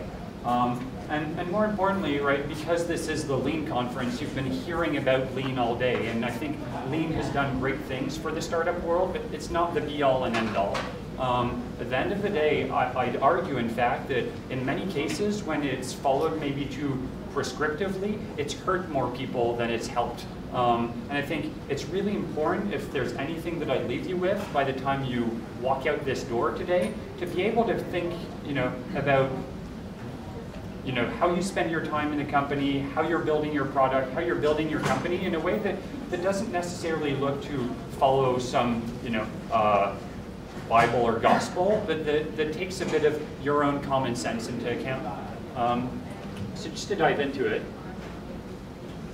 um, you know, whether you're in a startup or in a large organization, um, really the, the thing that's at the core of it is people. And those people tend to work together in really different forms depending on the scale. In large companies, you tend to have a really top-down structure. In smaller companies, you tend to have a sort of like more bottom-up structure where everybody has a more distributed set of responsibilities. This really affects how people will come to, you know, create results. Um, because in a top-down world, you will only be able to affect change if you get permission to do so. There are always people on top of you that are vetting your actions, right? There's somebody that is telling you what your job is, how to do your job, how to carry it out. Um, which really means that a large organization can only affect change as fast as the sort of chain of command's ability to assimilate the idea. In a small organization, that is not the case at all. There's nobody there that's there to tell you how to do your job from, from you know, day one. It's up to you to figure out what your job is, how to do it, and etc., which really means that it boils down to initiative. And these are two sort of worlds apart. In one case, it's about you figuring out what to do and having, you know, the gut um, and, and trust to go off and do it. In the other case, it's about you being able to convince people that the things that you're really that you really care about um, should get accomplished. Um, and you know, this this permission can really take time. Um, whereas when it's a single person that can just go off and do something, that doesn't necessarily take much time at all. And so really the Achilles heel here in both cases, and in the one case is speed and the other one is planning. Because in the large organization's case, it can take forever, as I was saying, and in the small organization's case, it doesn't take much time at all. But as a byproduct of that, really what it means is that small companies typically don't end up thinking as much about what they put out the door as large companies do. And, you know, the reality end of the day is that the one thing that nobody escapes is the judgment of the market, right? And so whether you're a large company or a small company, you need to make sure that what you're doing is going to be palatable. And in a large company context, because of the fact that you need to sell it up the chain to multiple people all the time, you need to force yourself to develop strong arguments and strong reasoning as to why you're going to do the things that you're doing, right? Because you're developing internal palatability before the external world ever sees or touches it. In a small company context, that rarely ever happens. It's just kind of like, oh, fun, that could be cool, let's go off and do it. And then you're hit with the reality that most of the time, people don't want that thing, or they don't care about that thing, or it just doesn't work. And you know, when I look at that, I say, well, often it's because you didn't actually stop and think about why you were doing what you were about to do. Um, and so, frankly, large organizations' hierarchy of approval is, for the most part, you know, a bit of an insurance policy against idiocy. Because the fact that you need to, you know, go back to your stakeholders and justify every decision is actually a great one in some respect. Yes, it comes at the cost of speed, but more often than not, it puts you in a situation where the things that you put out the door actually matter to people. Because the guys that are at the top or the, you know, the people that are at the top will not let junk through. And obviously, right, there's, there's some exceptions to that. Um, there's always exceptions to the rule, but you know, if, if you look at a lot of large successful organizations, you'll see that that's the case, right? We talk about Apple, we see say, oh, they're such an innovative company. And you can't take it away from them. They make amazing products and you know, they are super successful. Are they innovative? I wouldn't qualify Apple as being the most innovative company on the planet. They take, for the most part, other people's innovations, and they're really good at reassembling them in ways that are really pal palatable to people. So what they do is they actually sit forever without trying to experiment on multiple ideas, and they wait until that one thing is just so right and so palatable that they can put it out the door. Um, and so really, if you, if you look at it, the balance is that while slowness often costs large organizations their business, a lack of planning costs startups their future in many cases, right? And so it's a, it's a bit of that balance, right? Um, and in a world where, you know, I believe pretty much anything can be done, right, which is the startup world, the question is not what can we do, it's what should we be doing, right? And, and I think that's a bit of the forcing function that happens in a large organizational context. And so if we come back and sort of draw an analogy to the lean movement and methodology, um, there's a large focus on you know shipping an MVP and increasing your speed and getting things out the, the, out the door. And I think all of those things are really great. Right? And as I said earlier, they've done more you know good than they have done harm uh, for the startup world, generally speaking. But in trying to attain that speed and trying to make things that are minimal um, you often end up putting things out there that don't bear a chance. Um, and I think the lesson here is think a bit about what you're going off to do and why it matters to people before you put it into a product form. Because I'd argue that there's too many people that are starting to work on their products too early, period, right? An MVP sort of is a product the lean philosophy is made to like go out and get you shipping right away. And when you're shipping right away, you're not thinking. You're not thinking in a way that's strategic and that necessarily fits into the long-term sort of business objectives of your company. Because there's a very real difference between a product and a business. Um, and, and, I think it's important to, to remember that and to think about, yeah, once you've put that product out the door, how is it going to become a business for you? And a lot of those come back into this sort of planning phase. Um, and I think you can really do yourselves a favor by not necessarily trying to slow down, but trying to be a little more intentional about your decisions is really what I'm getting to. So that was sort of lesson number one. Number two, to come back to it, is that if you look at the center of any of those circles, whether it was a startup or a large Fortune 500 company, what's at the core is people. And whether you like it or not, change starts with people, but it also ends with people. If the people in your company are not on board the change won't materialize. And this happens time and time again. It happens in sort of the you know, most successful contexts in the world, right? You take, and successful in large quotes, right? You take consultancies like McKinsey that are in the business of changing successful organizations and they get brought in to multi-billion dollar contracts to, you know, revamp how an entire nation is working or to, you know, specifically restructure a department. And then they have this elaborate plan and they put it on the table and they say, great, this is what you need to do, and everybody buys in and has a big smile on their face. And then they leave and the thing just goes down the shitter. Um, and it's often not like that. Obviously, they do have some success, and, and this is not, you know, singling them out uh, specifically. I'm just saying, you know, often plans that don't account for how people will implement them, plans that don't account for the reality of the folks on the ground, um, end up not functioning because if the people in your own organization aren't bought into the idea of the change, the change won't happen. They're the people that are on the front lines. They're the people that in the end will make the change successful or not.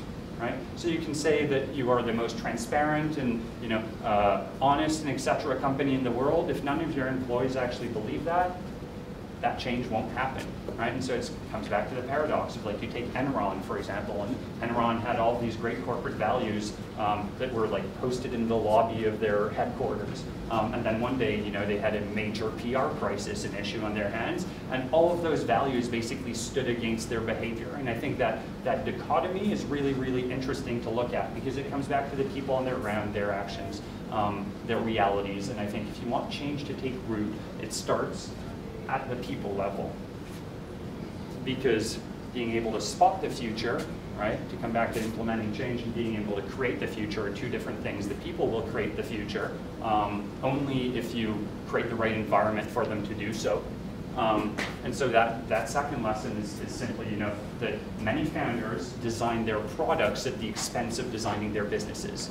If you're a founder, if you're a manager, if you're a person that's inside a company right now and that you're trying to help your company grow, you need to give as much thought, maybe even more, about how you're going to make your company a place that people want to work at how you're going to make a com your company a place that people can successfully get the things that they care about out the door, you're going to need to give some thought to those things. And people always ignore that stuff, and they just assume that it'll magically work.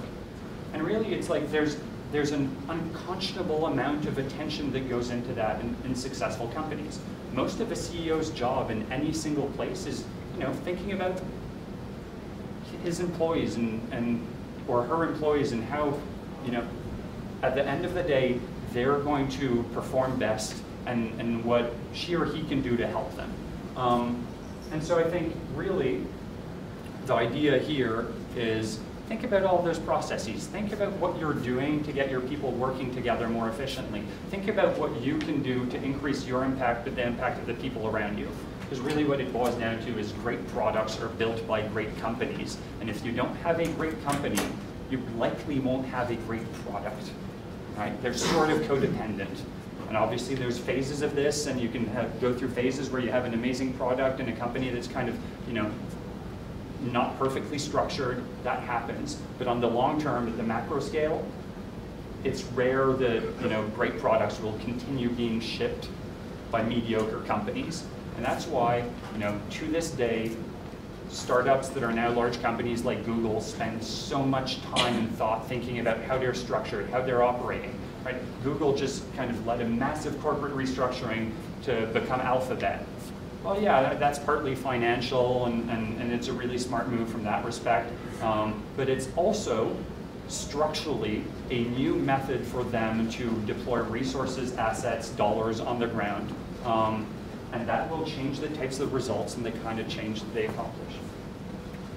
Um, and, and, you know, I, I stumbled upon this quote uh, a while ago, and um, I thought it was really great and encapsulated the idea nicely, and, and it's from Marc Andreessen, who uh, I'm sure most of you know, one of the world's most famed VCs at this point.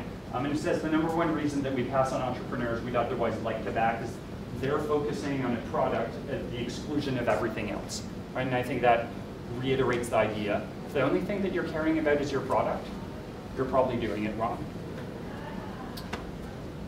Third thing, um, you know, this process here, getting that chain of command to assimilate the change, it can take years because literally what you're doing is you're trying to get people inside your organization on board with your plan and you're trying to find ways to get their brains sort of in sync with your brains. Um, and, and we know that it can take years because we often look at it and we laugh at how slow they are, right? And then we look at ourselves over here and we kind of, you know, don't think that it can take years. Um, and when it doesn't work, we kind of go like, oh, well, uh, I guess it wasn't meant to happen, and we kind of brush it off. Um, and I could argue that that's a little foolish because that process can take years as well, right? Because um, at the end of the day, it's about refactoring internal perception versus refactoring external perception. If you're doing something that is fundamentally new, whether it's on the inside or on the outside, there are many people that will have no understanding of what you're trying to accomplish and why they need it in their lives or why that company, your company, is, is, trying to do it, right? Which means that you're going to be in the business of distributing why that matters to those people, whether it's on the inside or the outside, before that change can take root. Because back to the market thing, ultimately, the one thing you'll never escape is the judgment of the market, right? Um, and if they don't get what you're up to, or if they don't get why this matters, um, well, you're out of luck, right? And I think that's the important part to remember here, which is um, that whether you're a small company or a large company, change can take a really long time. Um, and that, you know, pivots are awesome, but you can't expect to create lasting change if you pivot at the first sight of, you know, danger every time right? Because internally, if you really cared about that change in a large organization, you'd probably work on it and work on it and work on it and work on it until one manager and the next manager and the next manager have all sort of bought into it to a point where the organization has decided like, yep, okay, we're ready to do this. It's sort of similar in the startup world, except the people that you're trying to convince aren't necessarily internally. All of those people are on board. They're sort of externally. They don't get why this matters yet. And your job is to help them get why it matters right? And so if the first sign, or if the first thing that you do when you meet a bit of resistance there is say, well, there wasn't any fit, so you know, let's just change the entirety of our direction, which I'd argue, you know, coming back to the lean philosophy and, and the idea of shipping quickly and MVPs and learning from your users and iterating, etc. I think there's there's a tendency to, you know, adjust very quickly, and I think all of those things are great. Um, but I think it's also about understanding, um, you know, what needs adjusting and what you need to continue sort of putting pressure on and, and, and sticking to. Um, because I see too many companies these days um, that basically pivot for eternity um, until they're out of runway entirely, meaning in term, and meaning until they're either out of cash if they had any, or until they're out of time and the founders can literally you know, no longer afford to be out of a salary. And so they just try and try and try and try and try different things. And they're always sort of slightly different versions of things that were always kind of off. Um, and I think if all you're doing all the time is iterating on a new MVP and putting a different concept out the door um, that you know is minimal but not necessarily viable, um, it's going to be just as tough with the new idea, right? And I think that, that you know, coming back to the MVP thing, the core word in the entirety of the MVP is, is viable. You want to put something out there that is viable to the market. You want to prove your assumption. You want to prove that that, that change can take root, and you want to build on it. And, and so I think, you know, back to this work for a while on figuring out specifically how you're going to make a product that's viable to that market, right? And if after a certain amount of time you realize that there's no market for it, it probably means that your product isn't viable and you can change. Just don't necessarily take any sign of resistance or friction as a signal that everything is always off. Um, so those were really the three big things that I wanted to leave you with, which is change takes a lot of time, whether it's in a large organization or a small organization, because you're getting people on board, right? work with those people to create a great environment internally for them to ship amazing things and for other people to come and want to work with you. Um, and number three, you know, and we're going backwards here, um, you know, number three in large organizations, the thing that you're aiming for is permission. In small organizations, the thing that you're aiming for is initiative. That creates a balance or, or, or sort of battle between speed and planning. And remember, when your default is speed because you're a startup, you probably want to be thinking about planning. When your default is planning because you're a large organization, you're, you probably want to be thinking about speed.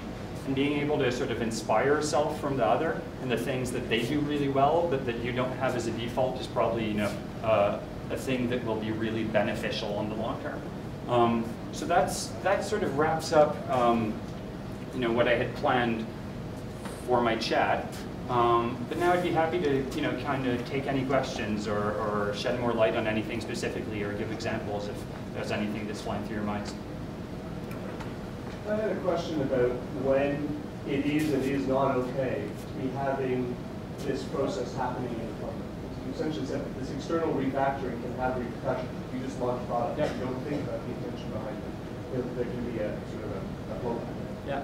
And in the startup world, we sort of justify the fact that that's okay, because we're only reaching a few people each time we do this, Yeah. until we do get to large. And then we have to be sure that the thing that we sort of built is valuable, but by that point, we know it is, because otherwise we wouldn't have gotten to reach all these people. Can you make mistakes in the shallow end, and then have those iterations be the, and essentially have the time that you get into the deep end be what declares whether those experiments were valuable or not?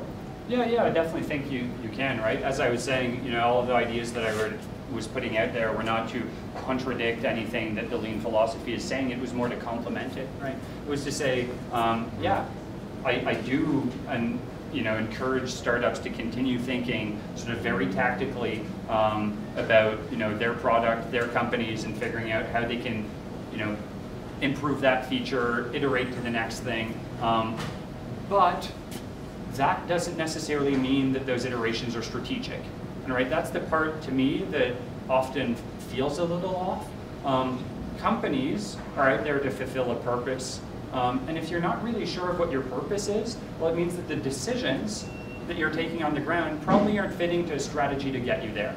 Because really, if you boil down what strategy means, it's kind of the marshaling of finite resources towards predetermined objectives. And so if you know what those predetermined objectives are and that you're setting those really strongly, that you know what you're aiming for, like Airbnb probably knew that it would wanted to be in the business of, you know, helping people sleep outside of hotels, right?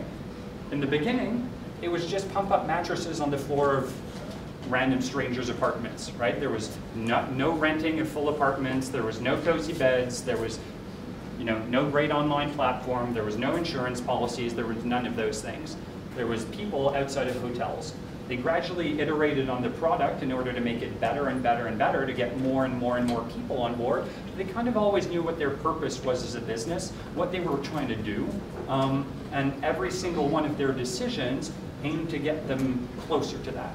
That's really what I'm getting to, right? I think that's the planning part, that's the strategy part. It's how do you make sure that the decisions that you're making, that the iterations that you're making somehow line up to a backbone that, you know, isn't just random luck. That you have to challenge some of the, either the guys that are pitching you or other portfolio companies on their, like, the funding that they have for the runway to allow for some of the concepts you talked about there, because they might think, I don't need that much money, can just do this. But In actual fact, you are proposing, perhaps focusing on building the entire business of the company. Um, do you find there's a disconnect there with a lot of the? Um, yeah, so I, I think I'm kind of hearing two things from your question, which is, uh, number one, you know, do I see situations in companies whereby, um, you know, they might not be as clear as they should be on where they're going? Then number two, do they sometimes overestimate um, their ability to co- compare to their resources? Is, is that kind of where you're going, or? Yeah, well, I guess you, you, you- I think the theme that I got from you Yeah. was there's a bit of naivety out there of a lot of founders on well, how much they should invest in the company building Yeah. aspect versus the product. And I find, I'm just curious, is, is, is that, you see a lot of that when it comes to the people that are, that in your Yeah, you always see a lot, right? Because I get back to it, um, the default is build. You know, building has become the easiest thing in the world. And it's also a really sort of rewarding thing, right? Even sort of biologically rewarding where like when you're shipping things and putting it out in the world and that it sort of succeeds or that you have your first users that are clicking on the thing and that you're watching your Google Analytics or your Mixpanel, there's serotonin and like oxytocin, a bunch of stuff flowing through your brains and you're like, yay, this is fun. And then it gets you back into building. It's like, oh, that thing crashed, let me go fix it. And so you're always, your default is your shipping, right? Your default is like, I'm building stuff and this is great. But as a default of building stuff like that and being biologically rewarded to continue doing those things, most of your brain power goes directly at the feature level, right? Um, and when you're at the feature level, you're not necessarily thinking of the business strategy. And when you're thinking, not thinking of the business strategy, that probably means that you're really not thinking about, you know, your company and, and how the people work together and you know how you can increase the likelihood that you reach your targets and all of those things. And I think if you're in any kind of leadership position in a small company or in a large company, it boils back down to the to the reality that yes, your job is to ensure sort of maximal output of your people towards that strategy that you really believe in. Um, and I do see a lot of founders all the time that have beautiful products, amazing products, you know, really well-crafted things that, that don't make as much sense as they should, right? Or companies that because they haven't thought about their processes, probably waste 30% of time and resources on things that are sort of unconscionable, right? Um, and I think that's the beauty of it, right? If, if you're a founder that really cares about the details, if you're a, if you're a manager that really cares about the details, you, you can sweat the small stuff, right? You can, you can go in there and make sure that you're setting up an environment for yourself that optimizes for success on the whole, right? It's not just about success for your users at the feature level and making something that's visually appealing and beautiful and that works well. Um, it's also making a company that works well for your people, uh, a company that you know works well for your customers, um, a company that works well for a market, right? All of those kind of things. Yeah, you mentioned a good team, an enthusiastic team, is aligned with your sort of vision is really, really core and essential to build to, to being to build a great company. So I'm, I'm wondering from your perspective, what are some of the what are some detrimental things that you've seen inside teams that either break them apart or get them off the off the track of achieving that vision? Uh, or conversely, what are some great strategies for keeping a team together and aligned at the same time? Sure, uh, great question. Um, you know, so I think obviously at the earliest of stages, there's always a shared passion for the for the problem or opportunity that's being pursued. Um, the reality is that you're going to see those people inside your company probably more than you're going to see your family or your spouse or your husband. Um, and that really means that you need to be comfortable working with those people um, on the thing that you're setting off to work on 12, 15, 18 hours a day right? Um, and so there, there must be some minimal amount of interest in the problem at hand because nobody likes feeling, you know, just like a tool, right? Meaning if somebody's hired you because you're the most amazing developer in the world, but as a developer you actually have no interest in the problem at hand, you're just gonna feel like a code monkey. And nobody feels likes feeling that way, right? You want to feel needed, valued, you want to feel like your opinion, your your perspectives on that market, on that problem are interesting, and so I think that's that's one of the you know core things. Um, I then also think that um, sort of operationally at the company level, um, things that increase success are sort of you know clarity of clarity and transparency of sort of direction and objectives through the full stack, everything from the board down to you know the interns, um, because that permits everybody to be on a page that moves sort of in the benefit of the company as opposed to sort of in random sort of mishap directions, right? Um, and I think if I look at a lot of startups, in many cases, they'd have what I'd argue to be governance problems, um, meaning where the things that they're sort of excited about on the day-to-day -day are totally, you know, a few degrees of separation removed from like where their board's head is at. And so by the time that they sync up with their board, their board is kind of like, oh, we thought that you were doing this or excited to do that. Um, and deploying your resources against that. And they're like, well, we changed and we're doing all these things. And then half the company's like, what? We never heard of that thing, right? And I think that transparency throughout um, and that and, and the goal of that transparency is to get like a clarity of direction and purpose for everybody on board, uh, I think matters a lot and, and is a huge uh, predominant factor to success. Anything else? Yeah, of course. So you said um, it's always going to be a lot of hard work to convince people either internally or Yeah. externally that your idea is, is a good idea. Yeah. When do you start to allow yourself the possibility that you're talking to the wrong people? Yeah, great question. Um, I think, you know, I, I don't know that there's a specific point for that. I think it's a, it's usually largely based on judgment and a really strong hunch. That's just the reality of it, right? Um, but, um, you know, you're going to see indicators of that pretty quickly um, as you're putting your product out there um, and sort of quote unquote validating that market, right? Because there is such a thing as a product that doesn't have a market, right? And I think as soon as you start proving that your perception of the market for that thing is not actually representative of the market for that thing, uh, I think there's some questioning to be done around whether you want to hold course and explore further, or whether there's sort of too high of an opportunity cost and that there's maybe a, a clearer, more apparent market that benefits from a different solution that you could be, you know, serving through some other means. Does that help? I wanted to build on uh, Michael's question. Um, One of the bigger changes, or biggest changes that um, a startup undergoes when it professionalizes into a business is scaling and culture. Yeah. I was just wondering, what do you see most frequently as the ingredient that startups compromise in scaling that culture? Sure.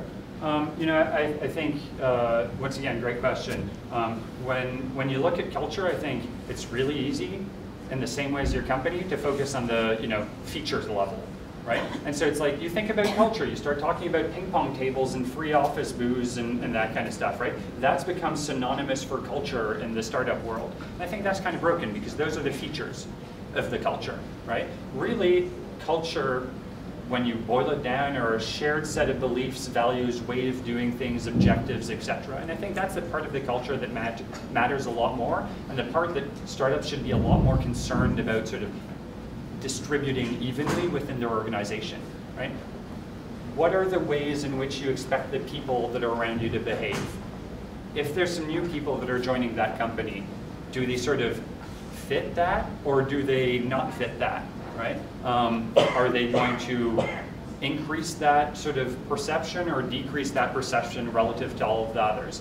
Um, and I think if you look at you know, things like the ping pong tables and all that stuff, they came out of cultures that wanted to emphasize openness and collaboration and fun. And those, that, those are the things that were, you know, those were the tactics that were used in order to fit those objectives. And I think in terms of your culture, the question really becomes, for the problem that I'm trying to solve with the people that are around me, what are those core objectives that, that I care about a lot? Um, and what kind of tactics will get me closer to that um, in a way that you know probably increases the odds of, of the company's survival in the long term? Um, what's um, three of your favorite uh, Toronto startups, and why do you think they're great? Um, well, yeah, there's there's always a, a ton of companies. Um, we invested in a company called Foodee that's based here in Toronto, but also has an office in Vancouver and is expanding rapidly everywhere.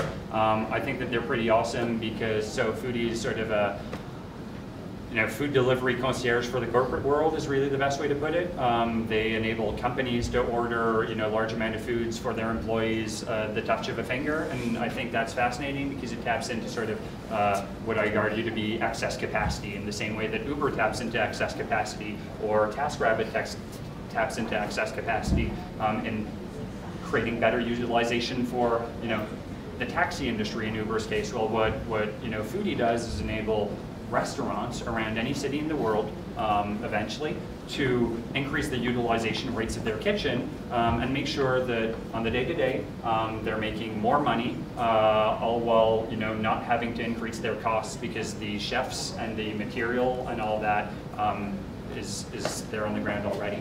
Um, so I think that's a you know a, a, an interesting one that I, I care a lot about. Um, one that we had invested in my last fund is a company called uh, Vanhawks, Um, Vanhawks is an amazing smart bike company that's based here in Toronto that went through Y Combinator. Um, they are building the world's first carbon fiber smart bike, smart bike, which really means um, you know uh, it tells you how to get across the, around the city. It has turn-by-turn navigation built into the handlebars. It has blind spot detection, so that if you're changing lanes and that there's a car that's coming in behind you, um, you you know reduce your likelihood of an accident. Uh, it has theft notification on it, so if the bike starts moving and it's not paired to your phone, you're going to get a push notification that tells you, hey, you know there's some kind of mismatch here. Um, so I think that's a you know phenomenally interesting company uh, that is in the hardware space, and we don't see um, all that many hardware companies uh, coming out of Toronto, um, which you know I think uh, is uh, is a thing that's valuable um, as well. It just doesn't get as much attention as it should sometimes.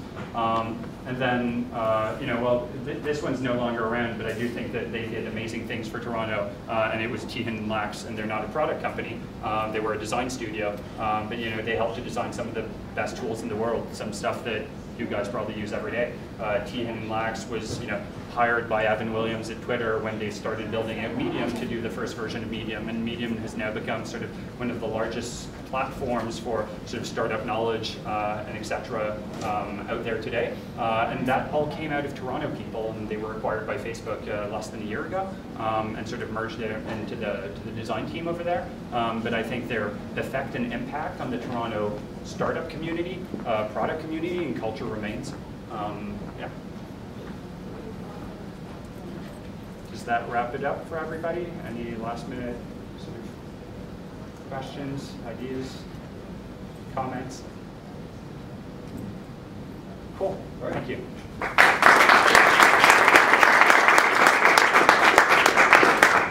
Cool, guys. So we're gonna we're gonna start off now with, uh, with the panel on growth and product strategy. This should be pretty interesting now.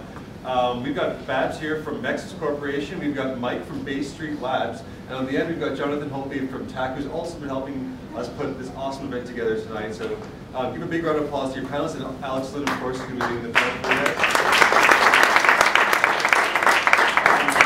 Great. So uh, go ahead and let you take it away then.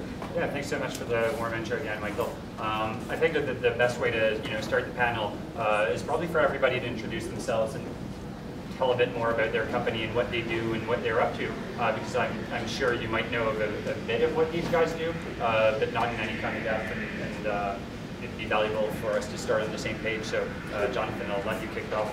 So I'm the CEO of a hiring community, and our goal, which we're sort of still in the process of like fully forming down into, is to provide anyone who's looking for either a job or a, a, a new employee to find that through their social networks instead of through a job board or through a recruiter or an agency like that. There's a bunch of reasons why we think that's incredibly valuable, but the most important one is that the majority of people who find a new opportunity these days find it through a referral from a friend or through an opportunity that they were connected to socially, either at a networking event or something else like that. And we want to really hammer home on that process that works because so much of the rest of the hiring process seems to be so fundamentally broken and requires all of this effort and all this pain without sort of resulting in a whole lot of reward. So we want to focus on the human side of that. Awesome. Thanks much. Um, I'm Mike from Bay Street Labs, and uh, we're uh, we're building out uh, a, a, new way to approach uh, financial audits. And so what we what we're doing is we're applying machine learning and automation to a very manual a, a, very manual process. So you've got you know a financial auditor that goes to a business that then takes uh, in goes through all their financial documents. And what we do is we actually automate a lot of those processes. So um, my role within uh, my, my, role within Bay Street Labs is, uh, is just one of the co-founders. So we practice uh, holacracy, so we have general roles and we sort of evolve and move around um, given uh, given the different kind of tasks. So it's a it's a bit of a new uh, management style, but I think it's it's been uh, just been pretty fun so far. Hi guys, uh, my name is Babs Ajayi. I'm from Mexis Corporation. So we have a web platform for trading commodities. Essentially, we provide buyers of bulk commodities like cocoa beans, rice from all over the world, a platform where they can buy the products within the same time it would take them to order it themselves. And what we've done is uh, we've found ways to streamline the risks and all the other back-end things that normally cause backlogs and lots of delays can range from a month to six months. And what we do is by taking care of those, deals can move faster in a very short amount of time. Sometimes within a day, you can have the entire shipment on the seas moving towards the buyer's uh, destination. Awesome, thanks so much, Babs.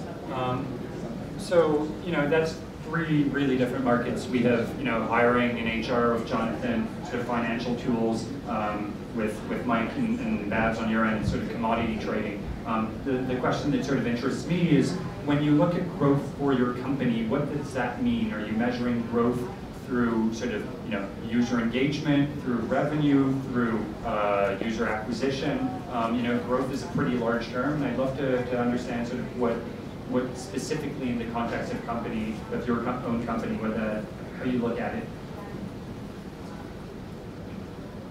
I guess I'll go first. Um, we we're just under a year in our in our process. What we're looking at is. Uh, it, like in terms of for growth itself, is we're looking at how um, how when we're engaging with the with the auditors and, and people that actually produce uh, uh, that do the financial audits and then those that actually um, that go through the financial audits and then engaging with the regulators, we check to see back in terms of how our product that um, how that fits within that and then um, trying to see the responses, engaging responses. At this stage, that's about the about as far as we can really go. We have our end vision, but we can't really go much uh, much further than on uh, than on the short-term basis for it.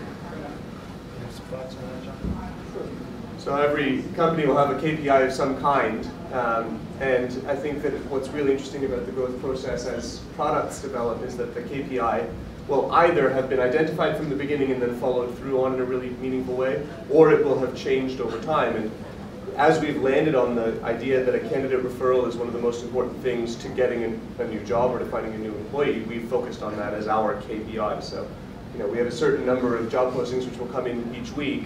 We focus on the number of candidate referrals that each posting will get. And that's sort of our, our that's our measure of growth. Um, you have some thoughts on that, so for us, uh, growth is kind of measured more in terms of uh, user engagement, since uh, we deal in an industry that has, it's just starting to come around to technology in the sense that people were trading commodities from all over the world through Silk Road and then you know ships. And nowadays, the people are starting to use technology and trust that process. So our growth is measured by how many people can we get to from month to month in terms of people who can now trust to use the platform to know if they put their money in escrow, it's going to be safe there and they have the control, as well as they know they're going to get their product when it's guaranteed, because that's also a big problem within the commodities trades. You can order something from China and then wait for maybe two months, three months after you were expected it. So them knowing those things gives us the user engagement statistics that we're always looking at. Okay, thanks so much. Um, and so, tactically speaking, what are you guys doing? Are there any specific processes or tools internally um, that you're using in order to, you know, optimize for those KPIs and make sure that they are growing on the day-to-day? -day? Um, you know, what are your thoughts around that? What are you, you know, concretely uh, doing on the ground to make sure that you're, you're you know, uh, succeeding? There was a piece not too long ago, I can't remember exactly how long, a couple weeks ago, about what a couple of people thought were the hardest problem in the startup world when you're trying to get a company off the ground. And the conclusion that they touched on that resonated with me was product market fit. And it's not so much at our company that there's a tweak to our platform or a new way of looking at our metrics that indicates the next version of the product that's going to have a higher return on the KPI that we're measuring. It's instead how close are we to really understanding exactly what the market is really looking for when we're solving this problem. And so every week we go through an iteration, we sort of measure it by what's our understanding of how this process is being done in the world to date and how well do we help whatever our little portion of that process is really succeed. So, you know, we have we have a metric sheet same as everyone else does, and, and on that we sort of track all of the things that we think are relevant to our business. And at the end, it sort of always comes clear that the thing that has made the most difference in that past week is we've learned something about the process that was being done before, and this time it's enabled us to sort of see you know, a greater degree of success. And so we then sort of solidify that, move that through back into the product, and we go into the next phase. So it's very much about learning. So for, for tools itself that we use, um, we, we find that, um, that uh, we, we like to limit as many tools, there's tools for literally everything out there, and so we've tested a whole bunch of them, but, uh, but we like to use, um, uh, on the CRM side, we really like to use uh, uh, HubSpot, um, so that's a way for us to be able to track our engagement, so as we're, because we have so many different, different uh, customer segments, we want to make sure that we're tracking our engagement levels and seeing how how our product is evolving and tying that back uh, to our, um, within Slack itself to be able to see, um, to send the communications in a way to our development teams. We've got, you know, we're a team of 10 people and, uh, and we're finding as we're growing that communication is, is getting more and more difficult. And, and so uh, those are more or less the, the only two tools. Actually, we also use uh, a tool called Do. Um, to be able to track meetings, so that way we can we can start to formulate our, our KPIs as we're as we're growing and moving on.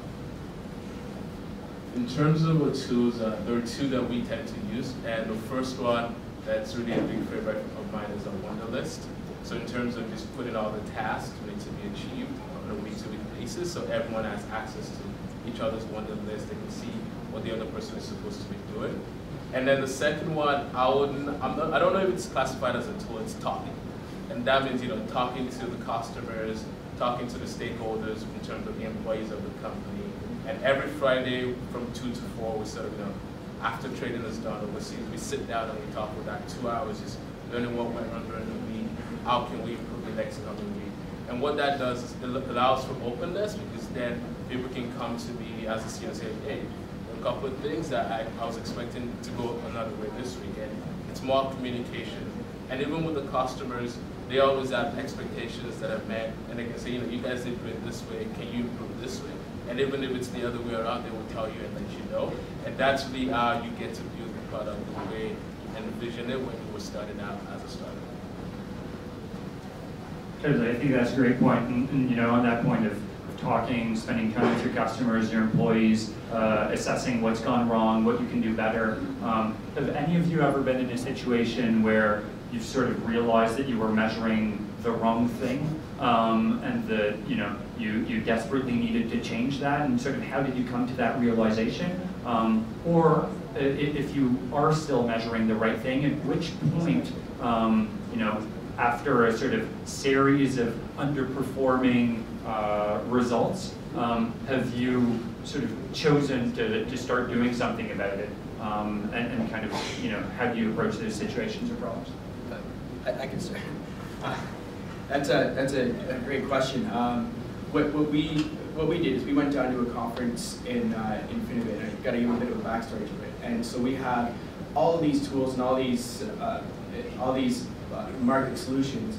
And so what we realized was that uh, when we went out when we went out to a, a fintech conference, you know, that there was so much demand for all the different kinds of tools, and what we really had to do was decide decide on whether we want to focus on all these different tools or whether we want to zero in and focusing on, on the core product and then evolve from there. And so we're literally in the process right now for assessing the market fits within these different things, what the opportunities are, and how to be able to, uh, within our end vision, and how to be able to actually take what we've got right now and, uh, and all these different, and weighing that against all the other different tool opportunities and seeing what the best interest is for us. So it's, it really, it causes us to actually really focus more than more than anything else, and that's uh, uh, that's the one thing that we're really learning right now. So it's it's you know how to really cut things back.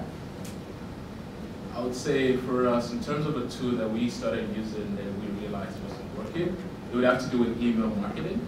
So when we first started out, there were you know, lots of ways of getting access to you know, emails, and people were trading, either buying or selling commodities.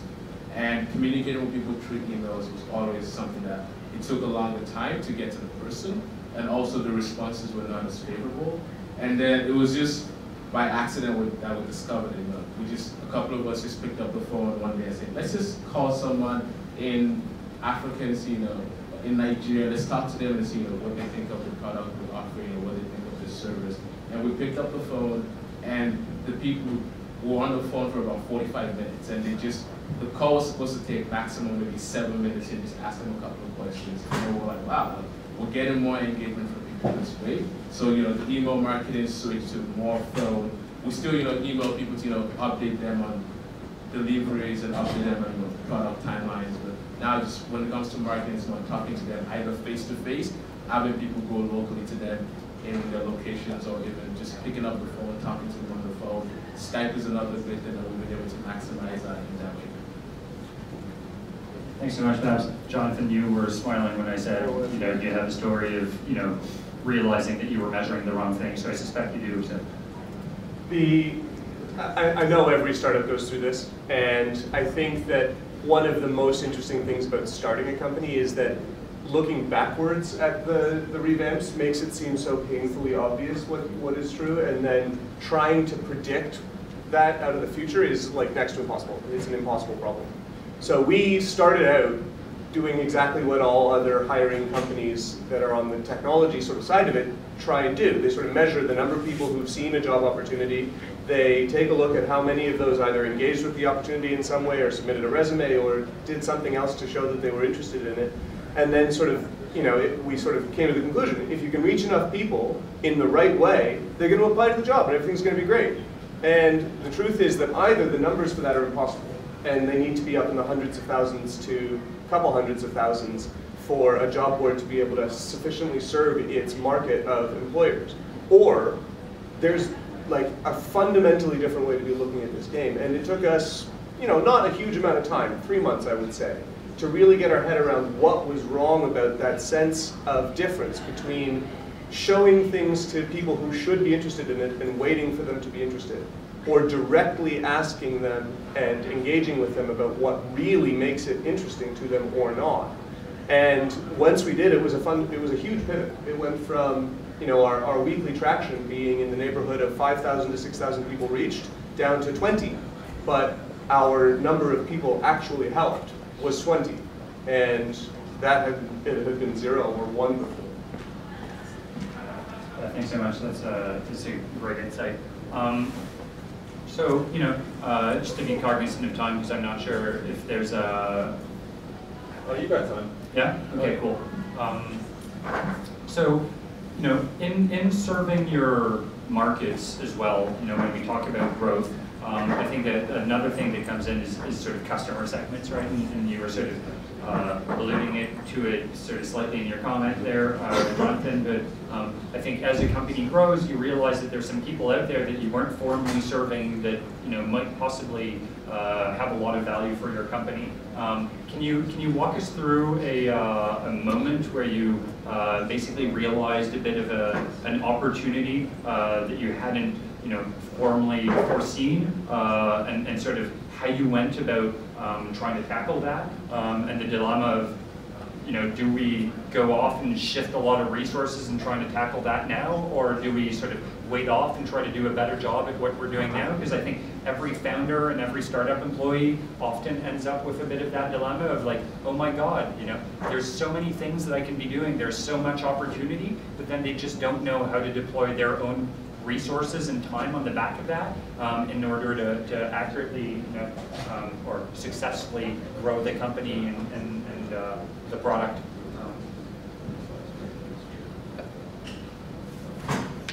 So uh, in terms of the customer segments that we're not initially served, for us, uh, when we started out, you know, when we first started about five years ago, our goal was to help the small farmer in Africa bring over his cocoa beans uh, to North America. So we were very focused on helping those very little guys. And we sort of saw exporters and people with more registered businesses exporting as sort of the middleman who was taking advantage of those uh, small farmers. But over time, we started talking and then we started breaking down exporters into the big players, you know, the medium players, and then the little guys. And we saw the same dynamics that we were seeing was also happening to those exporters, whereby some of them were very underserved in their marketplace, whereas the larger corporations were the ones that sort of would, at the most, position of taking advantage of the small farmers. So when we started bringing those people into the fold, our sort of mind frame started changing and we started seeing more engagement in terms of people who were actually offer because obviously getting to the small farmer took maybe two, three weeks, but then when you included small exporter who was also having problems accessing the international market, that was so that was a huge part in terms of the, customer segment. And it was something like Jonathan uh, alluded to in terms of when you're targeting that customer segment, it's also about it's always when you look back, you know, you look back, and you're like, wow, like I missed, how did I miss that? So it's always easier looking back than you know when you're looking forward. And it's sort of the biggest challenge for co-founders is being able to you know have that situation where when you're looking at something, you're not so micro-focused into the, the smaller things. You can maybe take a step back every now and then to see the larger picture. And I feel that helps when you're just starting up in the startup. So, uh, go, you know, when, when going back to when I, when I, when we were down in New York pitching at uh, at Finovate, we had so many different opportunities that that uh, that came came to us. One was from you know American Express, Capital One. So that, so when you're looking at it from um, like the credit card companies, we also had banks that were looking looking at using some of our solutions in, in, uh, in another particular way, and then we also had our core product, which is um, that, you know, the core of the business, which is to empower small to mid-sized um, accounting companies to be able to act like a big firm. So when we're, you know, we've been building our platform towards towards the small to mid, you know, having a, I mean, as a way to uh, empower the small to mid-sized firms. So we really had to, and we still are still assessing the market fit for the products in terms of what the, what the, whether we take a short-term, um, a short-term gain in that, um, in order to be able to have a, you know, influx in, uh, in, in, capital this way, and, and white labeling and all these other things, or sticking to the core platform and building up users on multiple sides for the for the long-term growth. Because on the development point, it makes it very difficult to, uh, um, you know, you're either putting all the development efforts in, in, in one side or another, and it's, it's really seeing what the what the real value is that uh, that would be in the, in the long term for the business. So it's it's ongoing for us, but you know it comes down to focus and, and trying to use um, metrics and, and, KPIs as a way to see what the value is um, for now and for the and for the long term, and and kind of sticking to the core of what uh, of what the business what the business is, and not being being pulled by so many different shiny objects along the way that uh, that could sidetrack you on the mission you're trying to improve. That shiny objects comment is an important one, I think, because ultimately speaking, the answer to your question is that there is always something of value that you can offer a customer base. Sometimes the customer base is tiny, sometimes it's huge. And even from the very day one of your company, there is something that you can do to help the person that you ultimately want millions of people to look like. And you know, for us it was a very straightforward thing. It was literally, hey, you, you're having trouble filling this role, allow us to try and help you find someone who can fill that role. But sometimes it's really easy to say, well, there's this many candidates in the marketplace and this many employers in the marketplace and they all want to meet in this way. Let's build a system for filtering thousands of people. And it just, ultimately speaking, I think it just doesn't work that way. You have to focus on the one thing that you can do that actually makes a difference to start with. And then turn that one thing into two things and then 10 things and then 10,000 things the shiny, the shiny objects problem is how to identify what the valuable thing is and what's, you know, sort of frills. Yeah, totally. I think that's a great point, Jonathan. Um, you know, isolating and being able to, to really know, um, you know, that, that sort of hard nub that makes your company the thing that it is, that is entirely sort of yours and different from everybody else out there, and then capitalizing on, on that knowledge and that insight, I think, is really important. You know, when we look at investments uh, from a venture capital standpoint, I think that's that's one of the things that matters the the most to any VC. Really, it's sort of not necessarily the product that you're building or the market that you're serving, but sort of what's your insight on that market? Um, what's that thing, you know, in, in a peer-to-peer way uh, that, that you believe to be true that nobody else is sort of thinking yet, right? Um, because it's all about that outlook that will shape your approach to the market um, and your, your solution to it. Um, and, and I think as investors, what we typically look for uh, is, you know, unique insights um, that are sort of outliers compared to the norm, um, and people that are chasing those unique insights with discernible passion um, and uh, you know energy. Um, so, you know, I've asked a lot of questions about growth and product here, um, but I figured maybe there's a bunch of stuff that you have in your minds that you're really wondering about that you've never really had the opportunity to ask founders about. Um, so I, would love to, you know, uh, give anybody in the crowd the opportunity to ask a question to the panel, uh, and, and, you know, we'll, we'll try to answer as best as possible. Is there anything that's burning on, on top of your mind in terms of, uh, you know, how people are picking their markets, uh, the metrics that they're choosing, uh, sort of anything around growth, growth hacking, uh, product development, etc.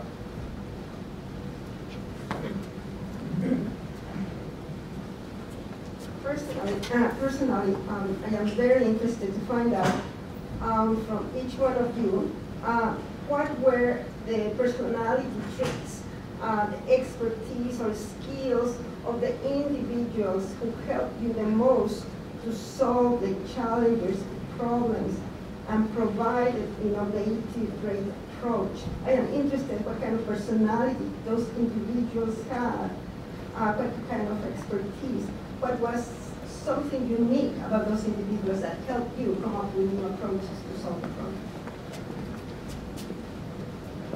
Thanks for your question. Anybody want to start? I would say the first one is obviously uh, they have to be generalists and people who are willing to learn when it comes to general tasks. Because when we first started out, uh, when we were three at the time, so we had to do research, we had to do accounting, research, legal research, research the products, the market. And I had an economics and finance background as well as a computer science. My other partner, she had a finance background in philosophy and the last person was a medical science student. So we were very, when it comes to commodities trading, the first couple of months, we'll, we'll talk to people and they'll say, what's your background? And they tell them like, what are you doing here? And you know, at the time it was already daunting for a couple of 20-something year olds talking to people in commodities trading. So now knowing you don't have the educational experience for that, but people were willing to learn, we, you know, we had to learn. Uh, just last week we were doing, working on our new training manual for our new employees and there is about 2,700 terminologies that are used in day-to-day -day trading.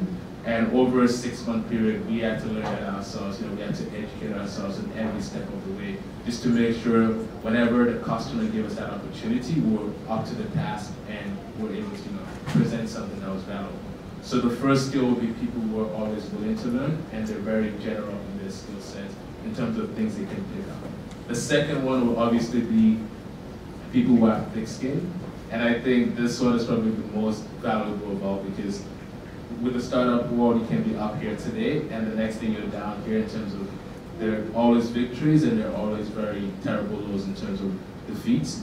And the process is always being able to, you know, learn from the mistakes when you make them, but also when you wake up the next day knowing yesterday was yesterday. It's a brand new day, it's a brand new 24 hours or 18 hours, depending on how much you work. And knowing you have to go at it with a new mindset, you can't let whatever happened in past, whether it's a victory or a defeat, affects you going forward.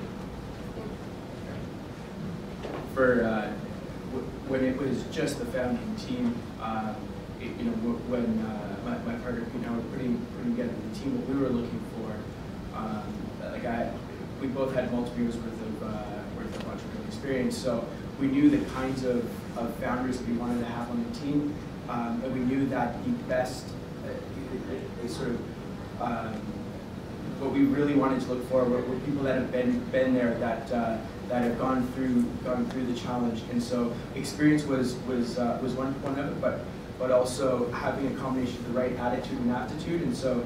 Um, that means they were smart, curious, willing to learn, and also willing to ask the right questions. And so we've you know, we've grown to grown to a team of 10 on that sort of foundation. So they were generalists um, that had a you know specific kind of talents uh, along the way, but overall it was about creating a culture that uh, of very intelligent people that can that can be willing to grow, that we saw that we can grow and evolve um, the, the, company with and build build teams further along down down the line. Um, I'm, I'm, trying to think of. Uh, one of the other things, uh, actually, that uh, if we're looking outside of outside of the organization, actually having um, everybody be able to reach out and have their own network of people that they can lean on and, and to be able to introduce different people along the way that can help uh, that can help grow them as, as we as we grow along. So, uh, you know, just by having the right kinds of uh, right kind of support networks along the way, it also sort of helps out uh, on, uh, on on that angle. It's just curiosity, you know, having the right attitude, smart, experience. Those were the core things we were looking at for, for our, uh, our founding team. I won't say much to add to that except that there's a sentiment amongst our team, but also every other founder I've ever met, that there's a passion that goes with how they feel about a problem space. Sometimes that's because they're builders and they love finding problem spaces and then building things to solve those problems. And sometimes it's because I think there is a personality trait that you can identify as passion. And it's sort of best summarized as a willingness to set your on, yourself on fire in order to try and accomplish some goal. As long as the goal is good enough, founders genuinely will do that. It's ridiculous, but it's true. And you know, there's a whole ton of problems that you will go through in this ridiculous journey that are utterly unsolvable unless you just sort of dive into them and try and figure it out while you're diving. And you can't do that. That's got to be the most important to me. Yeah, I'll, I'll add a few things based on sort of what I've seen at scale from, you know, speaking with, you know, hundreds upon hundreds of founders at this point uh, that, that, I think are, are marked characteristics of, of, success across the board um, in, in founders generally, but also typically in, in sort of employees that uh, are, are, highly creative in their output uh, and successful in their output. Um, and, and, those are three things specifically, um, sort of in the Larry Page way of saying it, a, a healthy disregard for the impossible, right? Um, people uh, that start with the assumption that the way things are currently done is not the best possible way and go from there, right? People that are that are able to fundamentally rethink, uh, you know, any given problem set in reality and, and, and question whether their solution is the optimal solution. Um, number two, sort of what I'd argue to be high fluid intelligence, right, which means an, an ability to uh, go from one task to another without being phased, without being thrown off track. Um, and that matters a lot in, in great founding teams. Um, you know, some founders are great designers, but have an utter inability to deal with any anything else in the business. Well, not sure that that's going to be the best kind of personality to lead that business and grow that business into the future. Um, and then the third thing is sort of a, a, proven track record of executing on past intentions. And that doesn't need to be in the corporate context. It can be anywhere really. You can look at sort of school, you could look at personal projects, you could look at just their attitude towards life generally, but an ability to do the things that they say that they're going to do and prove that they're realizing them. That shows people that are determined, people that are go-getters, people that you know care a lot about accomplishing the challenges that they set up for themselves. And I think when you take those three things together, um, they they make up a pretty good image of some of the, the characteristics that I personally prize really highly um, in entrepreneurs that, that, that we meet. Um, any other questions? I'm just curious, um, I just noticed amongst all your answers, one thing I just I, I noticed that was resonating was each person was a generalist and they're willing to learn to adapt and to learn new things. When you guys were in your early stages, especially just even finding a partner, was trust not a factor? Was trust not something that, like in, in, in our case, we kind of experienced it before that actually more than one person, the trust just burnt apart before we even started anything, before we even materialized anything, before we even had an idea that that was actually concrete. And none of you guys experienced this as you guys are committed so far to this is such you guys experience? I would say, uh, in my opinion, you're right. Trust is a factor, but trust is more of a hit or a miss. And uh, the reason I say for that is, when we started out, everyone that was a co-founder initially were all best friends in our university days. So you know, it was people know, you know you've done student government stuff where you've done parties with. So you had that, you knew how they could execute. But then when you, this is a business, it was more of a different animal. And only of the four of us that started, only three of us walked out. One person had to leave just because they couldn't deliver to us in that way. So trust, it's essential in terms of when you start building the team, expanding, being able to trust to know if your co-founder makes a decision while you weren't there, that it's the right decision.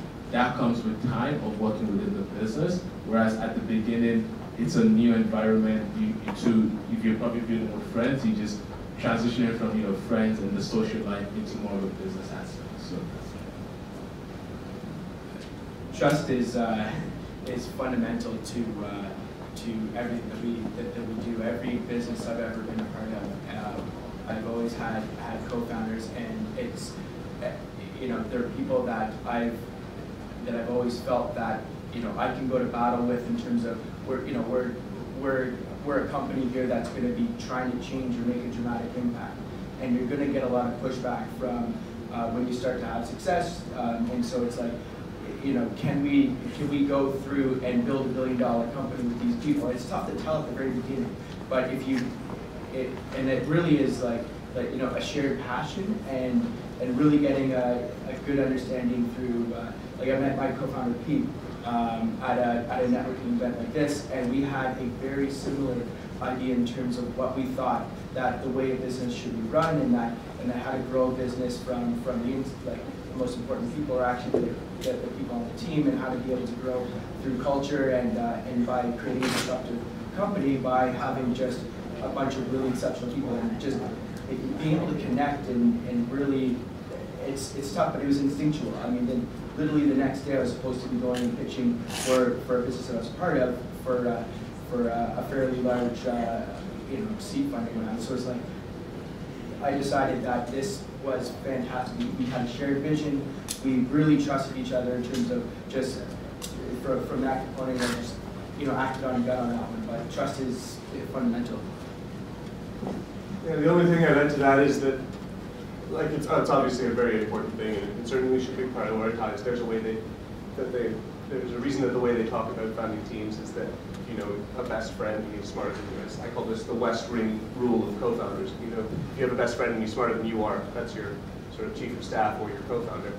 And I would say that because of how difficult this is, if you build your team the right way, there's almost nothing you can't overcome. There's no challenge that is too great.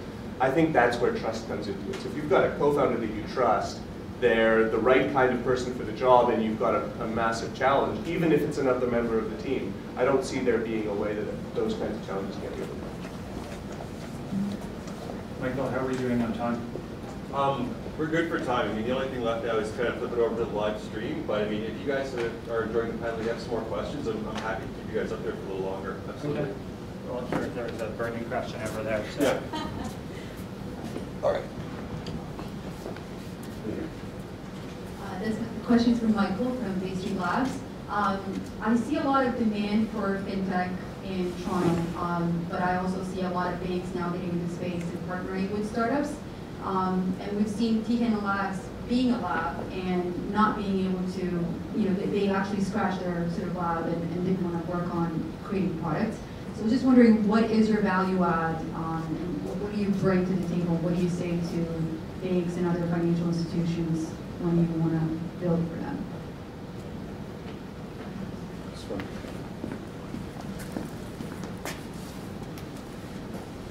So if, if you got your question right, it's about uh, what is our value add for building for banks. Um, our core product has always been built around empowering auditors, which are accounting firms. And so we see, like, we're figuring out the technology now because what we've, what we've got is a way to be able to do some contract reconciliation that can be applied to loans, be applied to insurance, things like that, but it also speeds up uh, the process for, uh, for uh, completing an audit. And so um, when assessing the different opportunities with it, it's like, it, you know, for banks, we see a lot of value for uh, loan applications um, it, to be able to uh, to look kind of get um, uh, banks deal with a lot of um, uh, big, big companies deal with banks for a lot of like for vendors things like that. So what you can do is you can sort of vendor agreements and things like that, and you can go through and process uh, uh, process actual loans by automating the process through uh, through the, their own you know financial statements with on the commercial banking side, but on the small to mid-sized banking side, um, we're still kind of looking at, at those opportunities because it came, it came to us and it caught us completely by surprise. And that was only, that, that was about a month ago. So now we're looking at the new sort of, sort of opportunities. But, but that's kind of where, where we see it uh, right now. Does that answer your question? I was just wondering, um, are you looking to build standalone products, or are you, you know, looking to just, you know, build on whatever they have and innovate on the solutions that, you know, that they have? And, and not just banks, I mean, just the financial institutions that, you know, survived the credit crisis. Yeah, it's, um, it, it once again goes exactly, we're, we're in a, a dilemma right now. Um, in terms of we have all these tools, but do we want, do we want to be a tool company or do we want to be a platform company that can be enabled by other fantastic companies that are out there to, and open up our, uh, our SDKs to be able to have other tools better empower our, uh, our solution. And so we're, we're literally in the middle of, of looking at that right now and and assessing the opportunities for it because once we once we perfect this model for um, either whether it's for banks or whether it's for uh, whether it's for you know accounting firms or even um, like uh, like venture capitalists things like that they can all the legal industry like it's all like there's so many different applications that could be used for it. So what's the what's the do we go with the tool route or do we go with the platform play and use uh, and use distribution and uh, and build up our distribution channel to be able to make it be kind of uh, a much more powerful uh, and compelling reason for uh, for other fantastic fintech companies, you know, from Toronto or anywhere else, to be able to be to be part of our vision. Just a question around funding. Obviously, every business is trying to make that runway as long as possible so they can stay until we finally something worthwhile. Can you guys talk about type of funding, uh, amount of funding, and also how much control you are usually comfortable giving up, and just sort of your experiences around that?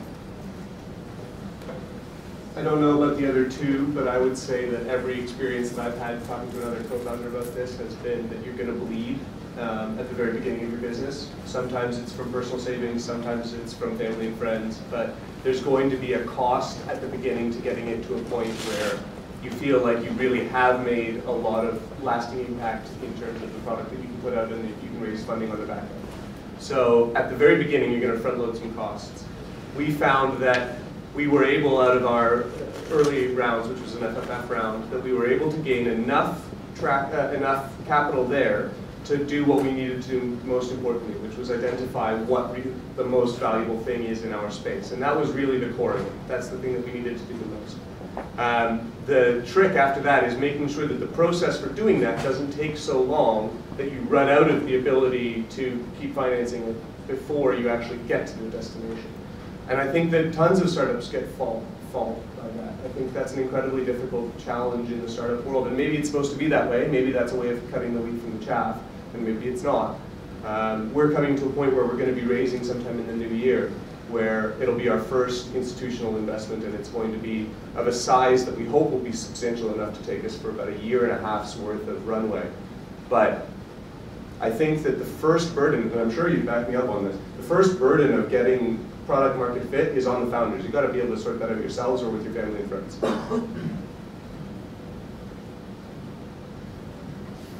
So uh, in terms of funding uh, for us, uh, we've been around for about two years now, and we've gone uh, 100% bootstrap. You know, funded from our own personal savings as well as uh, family and friends.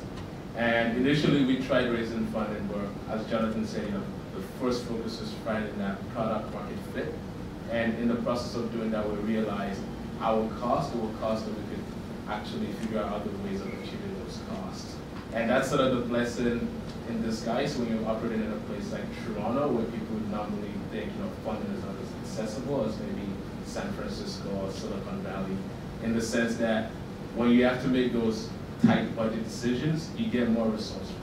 And it's, you know, I normally, when I speak to co-founders, I would tell me, I'm looking to start this business, I tell them, look, try and get your own funds, try and figure out other ways to do things that you might need money for. So by the time you get to a stage of maybe a year or two, you either know you have a good product and a good business, as well as the fact that now you know lots of resources that you can even maximize on a larger basis in the future. In terms of where we are for funding going forward, just like we're in the same process as CAC, where we'll be looking to raise new funds in the new year, so the first quarter of 2016, somewhere in maybe the middle seven figures to eight figures, something that can last us for the next uh, year and a half uh, as we tend to expand our market uh, segments. Um, there, there's only so uh, that, there's only so much I can I can go into detail about uh, about our funding, but uh, we we got funding from Deloitte, and so that uh, that was uh, that, that was a blessing because it gives us the opportunity to have a very great distribution channel and to be able to help form our uh, our uh, uh, you know our our product and how it would fit within the marketplace and such.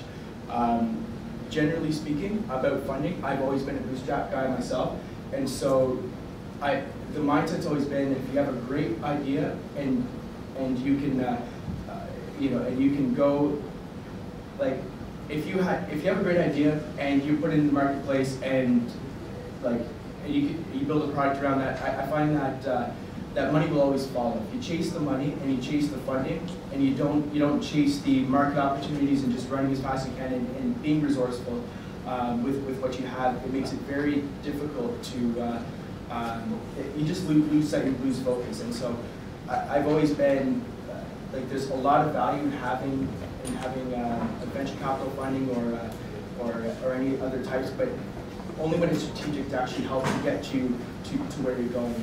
Like, I just find that, uh, that, you know, if you get too much funding, it, it all, it really just cuts down on, on the, there's just a lot of wastage. And so when you, when you are strapped for cash, you have to make quick and very effective decisions with every, with every little bit. And, and it drives that hunger and, and that push to be moving forward.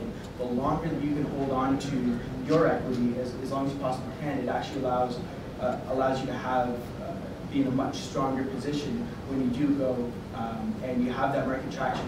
You do have VCs following you um, and, uh, and, and that are looking, looking to invest. You just have a little bit more of the pie. yourself. Probably have uh, more say on the control you'll give up in that case, because you're, you're already in a good place, or because you might not need to give up as much of your company. Absolutely, absolutely. I'd actually love your, uh, your Um, you know, I, I think the first thing that I'll start by saying is, is uh, really important that I don't think a lot of founders, especially in the technology space, are, are thinking about today is sort of questioning whether you're a venture backable business or not, right? Most of the businesses that have ever been built in the world were not built by, or backed by venture capital, right? And there's a bit of a default these days where I'm seeing every single person that wants to start a business, they want to raise money from VCs. Um, and, and you don't have to, right? Like, you can build an amazing business without VCs. Um, now, you can also build an amazing business with VCs.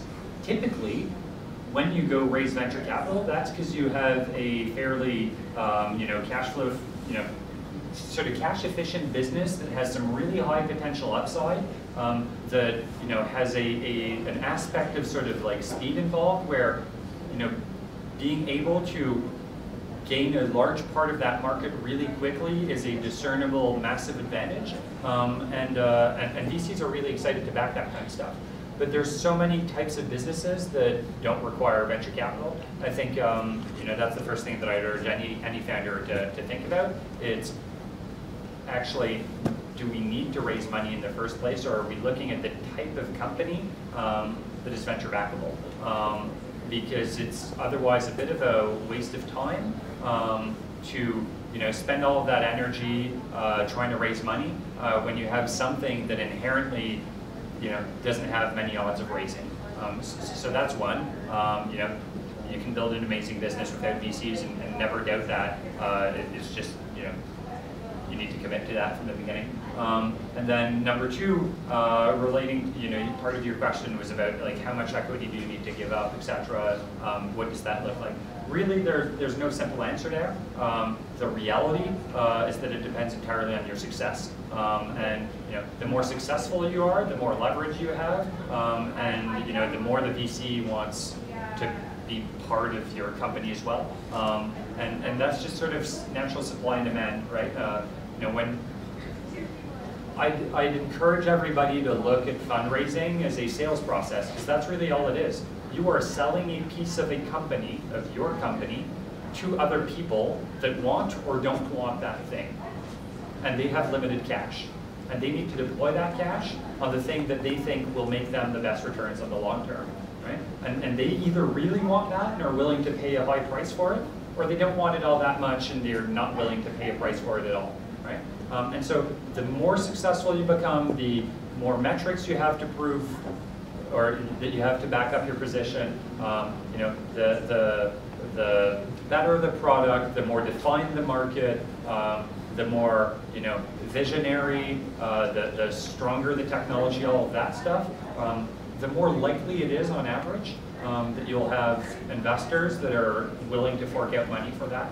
Um, but I am seeing a lot of people that these days are, are trying to raise really, really early, um, and it's not to their advantage um, all the time. So I, I just wanted to add, add one thing in, um, about all that. One, one of the uh, one of my mentors from uh, from back in Ottawa, uh, Terry Matthews, uh, he when I was just starting to be an, be an entrepreneur, he uh, he told me that uh, that you know if you want to if you want to go and, and, raise money whatever it is, um, that's fine. But better than going and raising money, why don't you go to a customer with these feature sets and say, hey, would you buy this?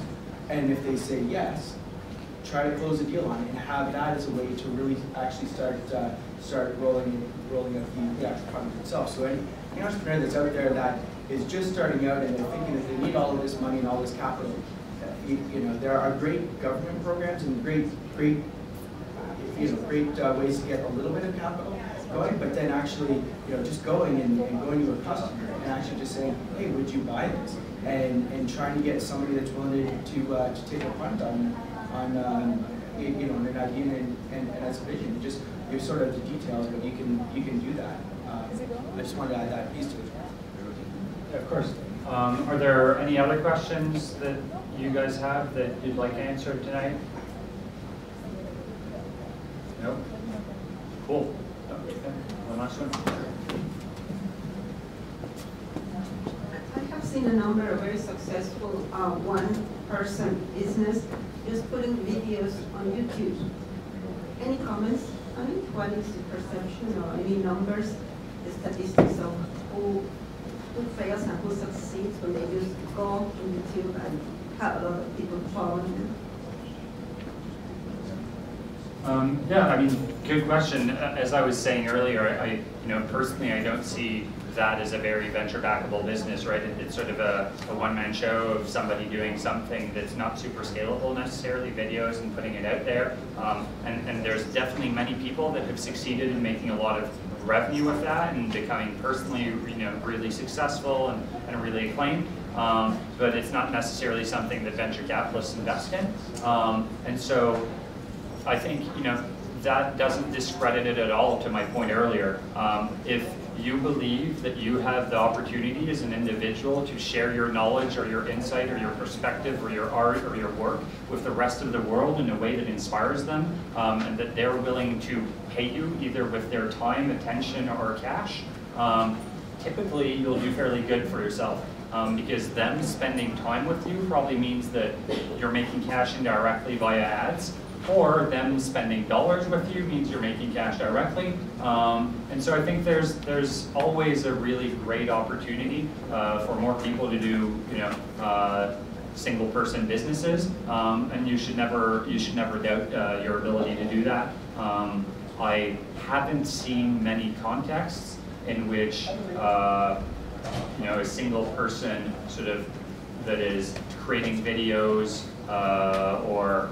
um, you know art or something like that on channels like YouTube or or, or other um, have been backed sort of by investors uh, it, for a piece of the company. Uh, that doesn't happen often. Um, but you know, typically they you don't necessarily need investors because they're they're doing fairly well when they're really able to to figure out the way to attract enough uh, attention um, market. Uh, sorry, just to add to that, uh, I also think the product market fit analysis helps the one man business in the same way it could help maybe a 25 person startup. In the sense that uh, I have a friend, uh, she does videos online for sort of a private fashion line that you know, she creates herself. And what I've kind of noticed is, obviously, the scalability might not be, the path to scalability might not be as clear as you'd have for maybe a tech startup company, but then it still follows the same ideas in the product market fit. When she started her videos, there seemed to be people who were really looking for something like this, and she sort of built followers along the way. And I feel that's the same thing that makes us similar to a 10-person company or a 50-person company, in the sense that even when you're a one-man business, you have to find that perfect market to product fit, and once you find that, you can scale, you can have as much success as possible. In terms of scaling, scaling becomes difficult because at some point you might need you know, if you're doing the videos, bring on board more sophisticated producers to produce those videos, or even whatever product you're advertising through the videos, or whatever service you're offering, you might need more people to be able to cater to the customers you're hopefully getting from those videos. So that's just that. Cool. All right. Yeah, I think uh, I think we're all good here for the panel, gentlemen. Give uh, give a big round of applause. to everybody up on stage. You guys pulling up for an hour actually. So we're uh, we're going to chat a little bit about the uh, the product landscape here in Toronto and sort of sort of the outlook for, for Toronto as well. and Get all these lovely gentlemen's opinion. Um, from your left to right, we've got managing editor, our editor in chief for BetaKit, uh, Douglas Soltys. I hope I pronounced your last name right. Yeah, you nailed it, man. Awesome. Admirals Studios. Perfect. The two things I get right all the time.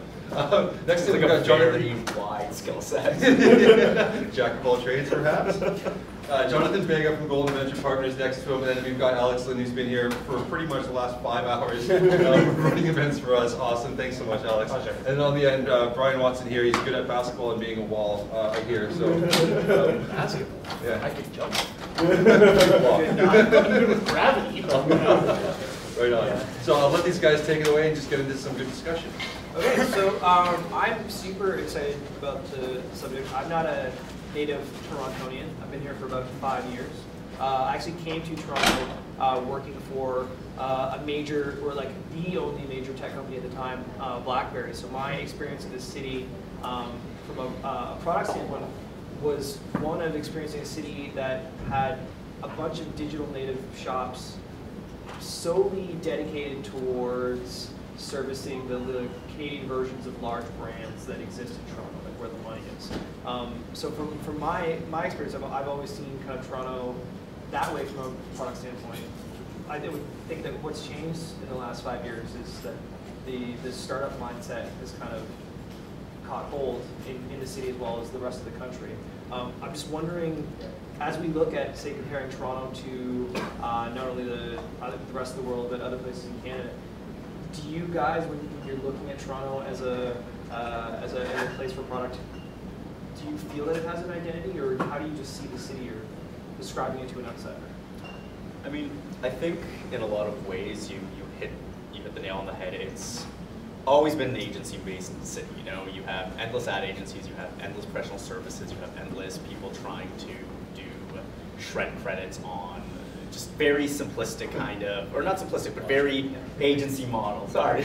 Um, Shred credits for mobile games for massive retail chains because they want uh, a customer engagement experience. For example. Yeah, exactly. Now, what you're seeing in the last few years is you're starting to see Toronto build up a, a real startup culture, right? But I don't think we've actually found what that identity is. I mean, I'm seeing very regularly, I'm seeing ad agencies or ex-ad agencies who have productized and have tried to now build something like they, they've seen what they've been offering and they're now trying to just build a product out of it, sell it as a software as a service um, platform.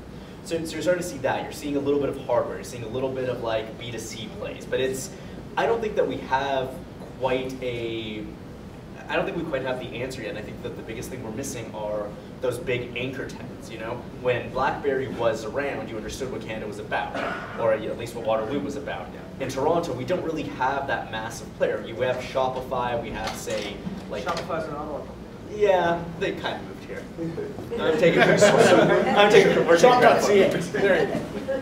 Fair enough. Okay. Um, we've got like Wattpad, we've got FreshBooks, we've got a few different players in like these different fields, and I think as you start seeing them grow and explode, at that point you're going to see Canada develop, a, re- or sorry, Toronto develop a a real kind of personality Okay. around well, those. I, I think you're, I think you're right, and then maybe to follow up on that, not only do I feel like we have a, a Toronto drone kind of anchor uh, tenant for the city, but we've also seen some of those those types of companies that you mentioned. So like Teehan and Lax earlier this year, uh, you know, they helped build Medium. Just everything that they built was at least cool, if not amazing.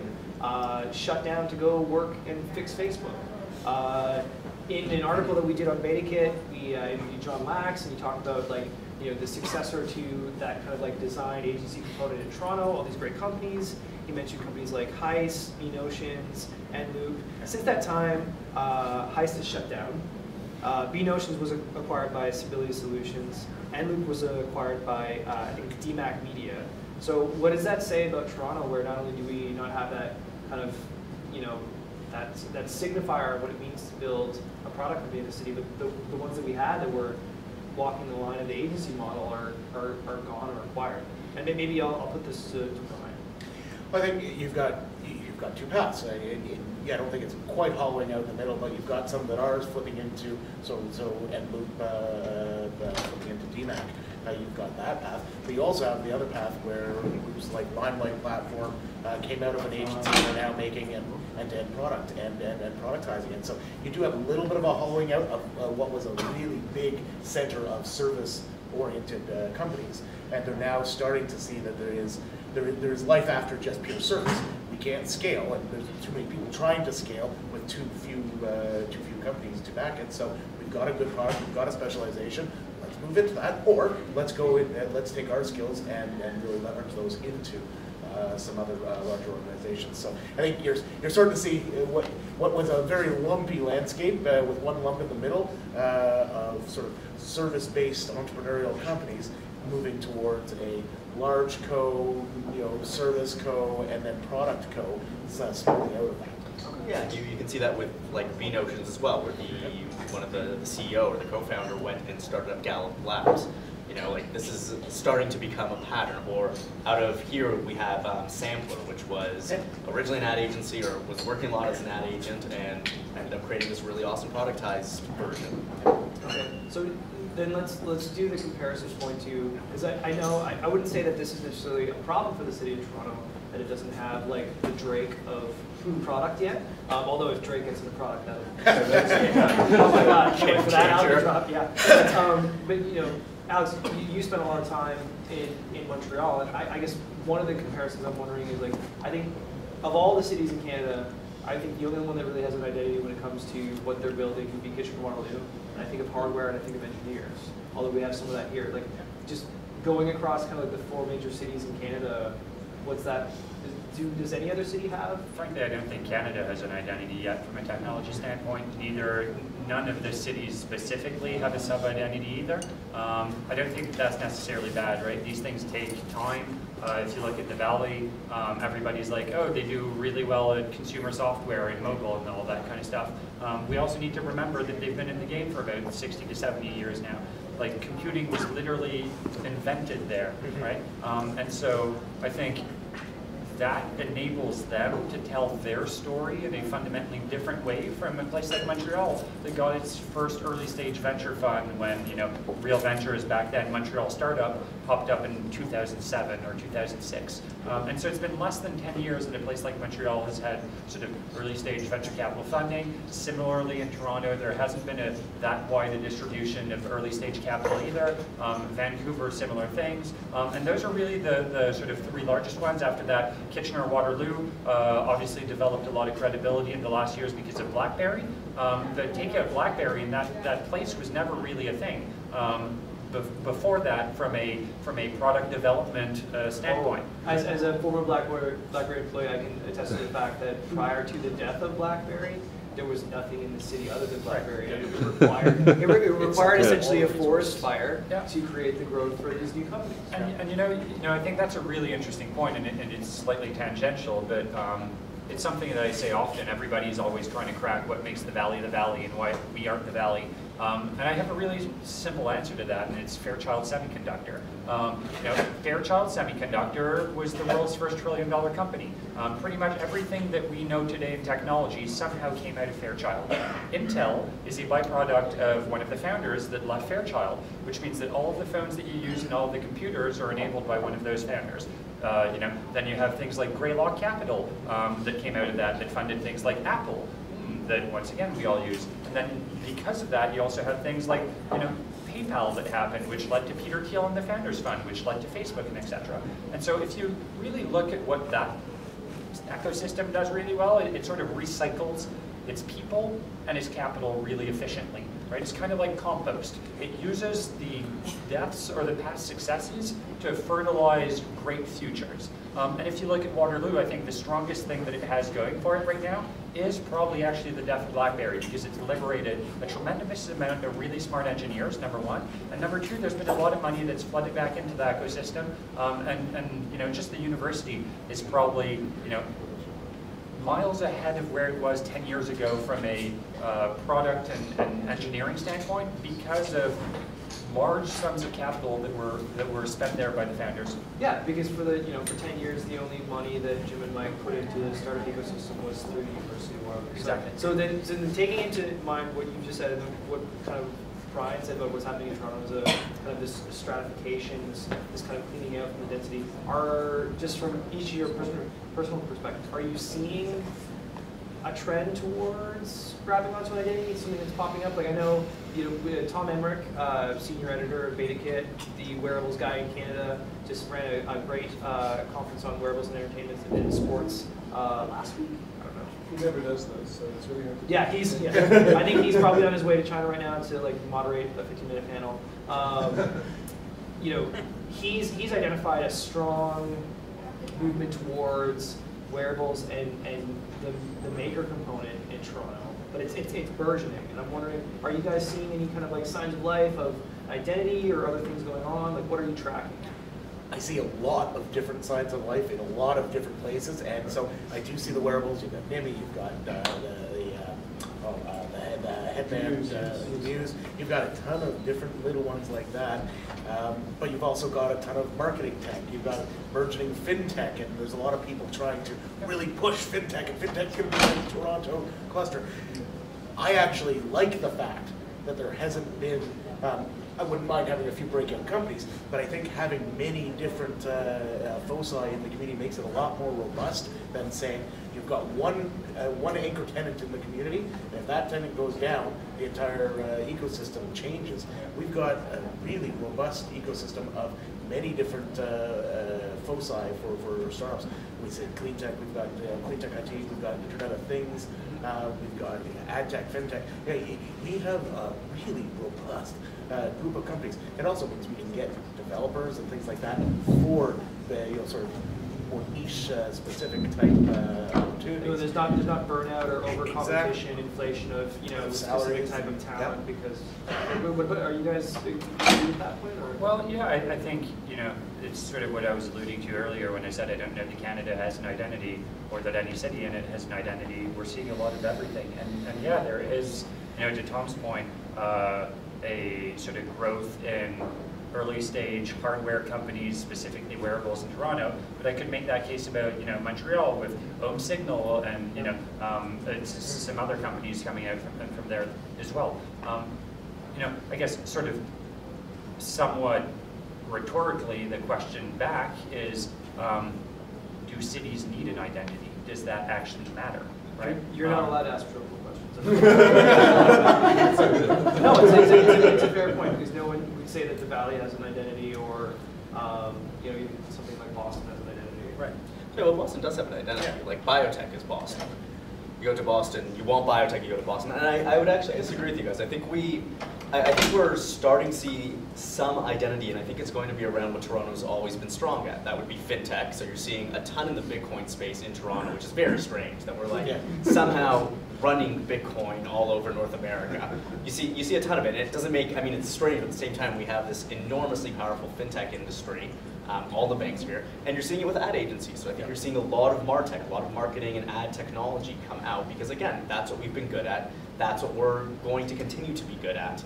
Um, so, so I, I think you do see the beginnings of identity. I don't, I don't think we're going to be a wearable um, headquarters. No offense to Tom intended. I don't think we'll be the IoT guys. I don't think we'll be hardware. And quite frankly, I don't see where we have any competitive advantages or any uh, heads like any head start on these versus any other city. But Is the, is the diversity an advantage? though? Is that? I don't think it's an, no, I don't actually think it is. I think there's an issue with diversity, and I think we go back to the fact that we just Tweet don't that. have. wait, wait, context, context.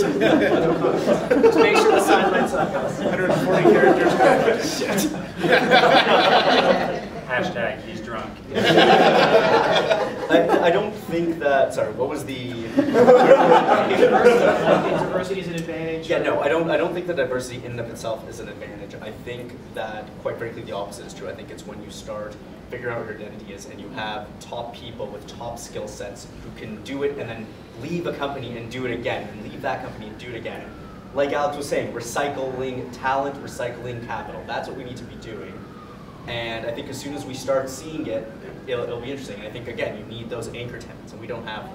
Okay, so we don't have, and this was not uh, on the list of softball questions that I sent you guys earlier, but we don't have a list of kind of anchor tenants, but we do have uh, probably a greater institutional infrastructure than any other city in Canada when it comes to places like, uh, well, first of all, all the accelerators, all the incubators, uh, the VCs, uh, things like Mars universities.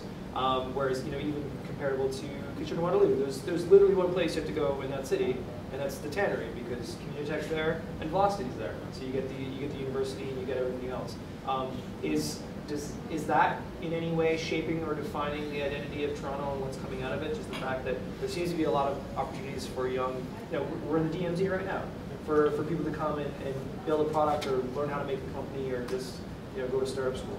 I don't know that it shapes the identity as much as it shapes the capabilities, right? And I, I think that's the more important point. It's I don't I don't actually think that identity matters all that much, right? And that was sort of my rhetorical point earlier, which is that if you actually look at most of the cities globally that are outputting companies, most of those cities don't have a discernible identity, and that's totally fine, right? Okay, Um, well, beyond that, and just, just the landscape itself, is it, is it affecting the, you're talking about capabilities, Yeah. outcome, output? Exactly, and I think from, from that standpoint, Toronto is really interesting these days because it has a lot of universities that are training better engineers and you know more rounded skill sets than ever before. It has a lot more co-working place spaces, a lot more just general accessibility to cheap real estate for people to work from and start things in. Uh, it has a lot sort of better readily available capital at the earliest stages, right? Funds like Golden VP, John works for, and that weren't around a handful of years ago. Um, and you know, myself at Highline, you know, and, and the grant we came out of the merger of extreme startups. But if you look at that entire story, it's it's you know not even a decade old as well. Um, and I think all of those are increasing our capabilities as a city, but also the results that we're seeing from our founders, and I think that matters a lot. But I, I think I'd add that one of the issues that I find with Toronto is that you've got these different pools and they're not connected. They don't communicate. You know, so so you've got these disparate pools. Mars is its own little island, and then you've got DMZ as its own little island, and you've got kind of all of these little like shops that are trying to do various things, and no one's really communicating. One of the beauties of Waterloo, I think why Waterloo is as successful as Waterloo is, is that there's one spot. There's literally one coffee shop that everyone meets Yeah. in. Oh, You can't not run into everyone Yeah, else. everyone's there, and you're going to bump into the right people. You're going to bump into other people who have gone through the same things you are. There's no kind of splitting of it. Yeah. Can I ask an odd question about that? Sure. You're essentially talking about that from the perspective of a founder, right? Where they're going to bump into all these great resources. Yeah. I'm a founder in this city. You know, we've got great contacts here at DMZ. We're at Mars. We're down at, uh, you know, talking to folks at Creative Destruction Labs. We're out in Communitech. We're all over the place. Good. Why are we bumping into, like, why don't you think that we're bumping into people in the same way you are in KW? Because we all you- ran over here from the CIX conference at Mars to make sure Right. we were here. Right. Because you have to, you can't be everywhere at At once. both You have to choose. Yeah, the difference is if you're at KW, you're at Balzac's all the time, or you're in like the foundry or the tannery, and that Right, Period. and so you're Whereas here, you're either here or at Mars or there or there or there or at like.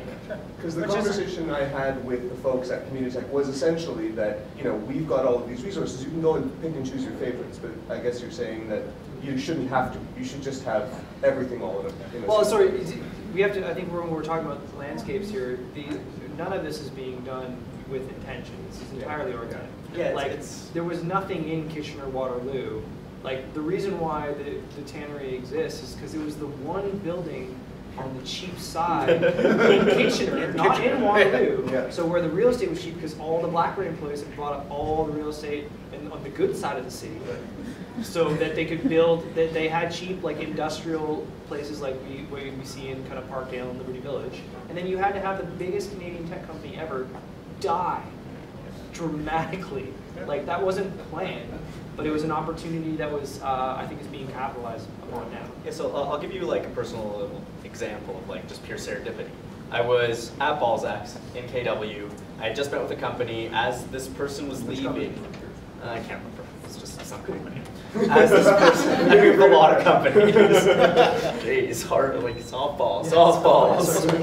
Um, so, so I just met with the company. As this person's leaving, he introduces me to one of his friends who had just come in to get a coffee. We start chatting. Three months later, or five months later, I've invested, like we're investors in the company, you know, and it was just because we were at the right place at the right time. Would I have met him otherwise? Maybe, maybe not, but you know, I, I don't know of another place where that happen, or I don't know of a place where that happens in Toronto. I can go to like, you know, I'm in King West. I hang out a lot at Well, Jimmy's. no, yeah, to, no, to that to that point where like when I go down to Kitchener Waterloo, more drunk. This is perfect because the Don't- next don't question I'm him gonna out in the background. next question I'm gonna ask is a doozy, but to that to that point, when I'm in Kitchener Waterloo, I don't I don't book meetings. Right. And I'm gonna show up the place and I'm gonna maybe run I'm gonna run into people that I need to see. I don't have to have a meeting scheduled with them. Yeah, in, also- in Toronto, every day I'm making sure I'm on the right side of the city or I'm coordinating because getting from uh, you know uh, Highline at Queen of Bathurst, making sure that uh, I can get to my meeting at Round13 in Leslieville on time is like a major scenario, especially when it gets dark at 4 o'clock and it's super cold. so, so we The solution, by the way, is buy a motorcycle. Uh, that's the only way that I've been able to get around the city fast enough to be able to make it from all these different things. That answer is false. Yeah. Um, okay, so now, we, we, we're, we're now 20 minutes in. Uh, I think you've been all very articulate about uh, your thoughts on th- this panel. Uh, but you know, here we have represented uh, VC money, uh, pre-seed accelerator investment, and then representative from like the incubation process in general in, in Toronto. For uh, especially considering you know where this panel is being housed today, um, why should anyone in the audience be listening to your thoughts on product in Toronto rather than say uh, Robleh from Tiny Hearts or Huda from Wealthsimple who build beautiful product every day? Right? What's your argument for them agreeing with everything you're saying? I'll, I'll throw two up. Once, I think it's a false dichotomy. I don't think it's either or. I think listen to both. I think we generally agree. I, I, I can't imagine that we'd be hugely in disagreement on what matters in the product. Two, we, we have the capital. You should probably listen to us if you want funding. I mean, you don't have to listen to us. You probably should. It's called the golden rule. He who has the gold rules. Um, and makes the rules. But Yeah, I mean, it- you know, Sean has a point there in that at the end of the day, whether we sort of like it or not, um, and this is something that I personally think about, um, investors do, in some respect, have a lot of control um, over the type of future that the rest of us get to live, right? Because that, they sort of make the calls and, and take the shots on the things that get funding and the things that don't. Um, and as founders, uh, when you're building a product and optimizing for fundraising, um, sometimes I'm sure you've been in situations where you've probably taken a decision uh, because you thought that would decision would probably look better in front of those people, but it wasn't necessarily maybe what you intended to do in the first place. Um, that's not right or wrong. It's just for better or worse, the nature of a world with limited capital uh, and, and, and sort of high demand for it, um, where, yeah, the people that have the capital are also setting the rules on how it's deployed, uh, and those rules largely stem from the fact that they have a job too, which is not philanthropy, it's to create returns for their own investors, and at any given time, they're judging you relative to all other opportunities on the table, saying, is this likely to make me some kind of returns? Um, and so, yeah, I think from that standpoint, um, there's, there's a strong case to be made that if you care a lot about raising money, you should probably at minimum be open to hearing the things that the investors in aggregate, and I say that, you know, pretty importantly because investors can can disagree on things, but in aggregate, sort of the the the average of what they're saying.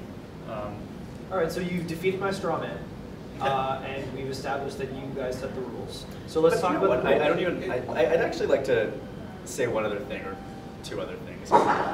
One off the bat, like I, I do think this is a really strong straw. I mean, at our fund, you know, Amit is one of the partners. This guy built a product that he sold to Zynga, and then he ran Zynga's Toronto office, took it from a bottom performer to a top performer. You want to talk product? That guy knows product better than anyone I've ever met. So I mean, I, I don't really see the the, the difference here. The other thing is, and, and just from a purely, whether you're raising money, whether you're just looking at starting your company, whether you're building your company, uh, yeah, how many companies have the people on this panel seen over the last year? That too. I mean, just the sheer volume of business models, apps, different takes on different markets, the way that people have tried to, to attack different markets, the, the sheer volume of types of companies, we've probably seen, I, I, I, I don't know, I mean, if you had to I guess. can tell you, I can tell you because I track it. Yep. I've seen since last October, October a year ago. Yep. I have seen close to a thousand and thirty companies. Any, any sense on It's this? a lot. It's like 20 a week, Probably or see- I, I've seen personally less than that, but Yep. as a, you know, as a fund, we've seen definitely in the ballpark, if not above that. Um, I've, in the last year, I've probably seen somewhere in the two fifty to three hundred mark, uh, companies. Yep, and BetaKit, same sort Well, of thing. every every email I have an answer to Yes. this pitch, right? Exactly. Um, and to, to the point, like you know, Alex and I have been spending our time uh, in the Startup Next program once a week, Hmm. kind of give, doing some mentorship uh, with companies trying to get themselves ready for an acceleration program. And I don't know a thing about half their businesses Hmm. or what will make them successful in the market, but I do know storytelling, and I can give them some feedback on, you know, if they're getting across why their company is important. But so I want, you know, I think the point on the uh, your perspective and the, the conditions that create um, a situation where startups are looking to listen to your perspective if they want that funding. So I want I want to go through some of that. Like as you guys are meeting these these startups as you're going through, you know, what are you looking for? What what is standing out? Because we can talk about the actual like. Uh, does a, is a hot shit product is something beautiful, uh, elegant? Does that stand out more than the team behind it, the, the founders? Like, what's what's your marker? So I, so I know uh, there was a stat that I used to quote all the time when I was running uh, the Angel organization, um, and it was a Morgenthaler uh, Ventures stat. Uh, they surveyed 200 of their failures, which you know is interesting. Uh, 200 or so. Uh, interesting that they had enough failures to actually make it statistically significant, but they found three failure modes. The first was technology. Yeah, the, the technology didn't work. It was 10 percent um, of the failures were just you plugged it in and it blew up in your face. 30% was the market. It was some weird nanotechnology that nobody could really figure out how to commercialize. It was a material. I don't know if 3M didn't want it. I I don't know what to do with it. The market didn't accept the technology. And 60% was the people couldn't deliver it. It was a team. It was so, so you know, they, you, and you'll hear this repeatedly you know, throughout the life of uh, you know going to panels like this. That people look for the people that are running the companies, and you're the, they're placing the bet on. You have to have the technology because that's an enabling factor to building a company. But what kills companies is people, and what grows companies is people. Um, so uh, I spent a lot of time getting to know the people, uh, watching them evolve from a place like DMZ into their own offices, raising a little bit of money, raising some angel money, getting to know the angels that have worked with them very closely for the last sort of six months, and uh, do they want to invest again? Do they want to kill them? You know, it, it, it matters that personality. So that to me, it's, it's that team and having the technology to back up. Yeah, I think that's a great point, uh, and I'll layer onto it, and I'm, I'm sort of repeating myself from earlier here, but um, you know what I had said is the thing that in my mind is probably the most important is the insight, the insight that that team brings to the table, right? Um, because at the end of the day, the reality is every single idea that you are bringing, we've likely seen before. It's insight right? into their space or how they're delivering it? Like- Both, both. Um, yeah, and, and I'll give a specific example. It, and, and it's just the reality, like we see so many ideas in aggregate that to some variation or some degree, we've seen things that are really, really similar. So the question becomes, if you're dedicating your time to that and we're investing in you as people, what makes your company unique relative to, in John's case, for example, all of the other hiring, you know, applications that are out there, or, you know, in Mike's case, relative to all of the other, you know, fintech technology that's out there, um, and, and, the case can go on and on and on. Um, and, you know, to give a, a specific example of, um, so back at the last fund that I was at, Real Ventures in Montreal, and, they recently opened in Toronto over the last year and a half. Um, we invested in a company called Transit App. And Transit App is a mapping application to help you get around a city. Such a great app. Yeah, it's, it's, it's, you know, it's a really, they're doing phenomenally well in the App Store. They've been featured by Apple so many times.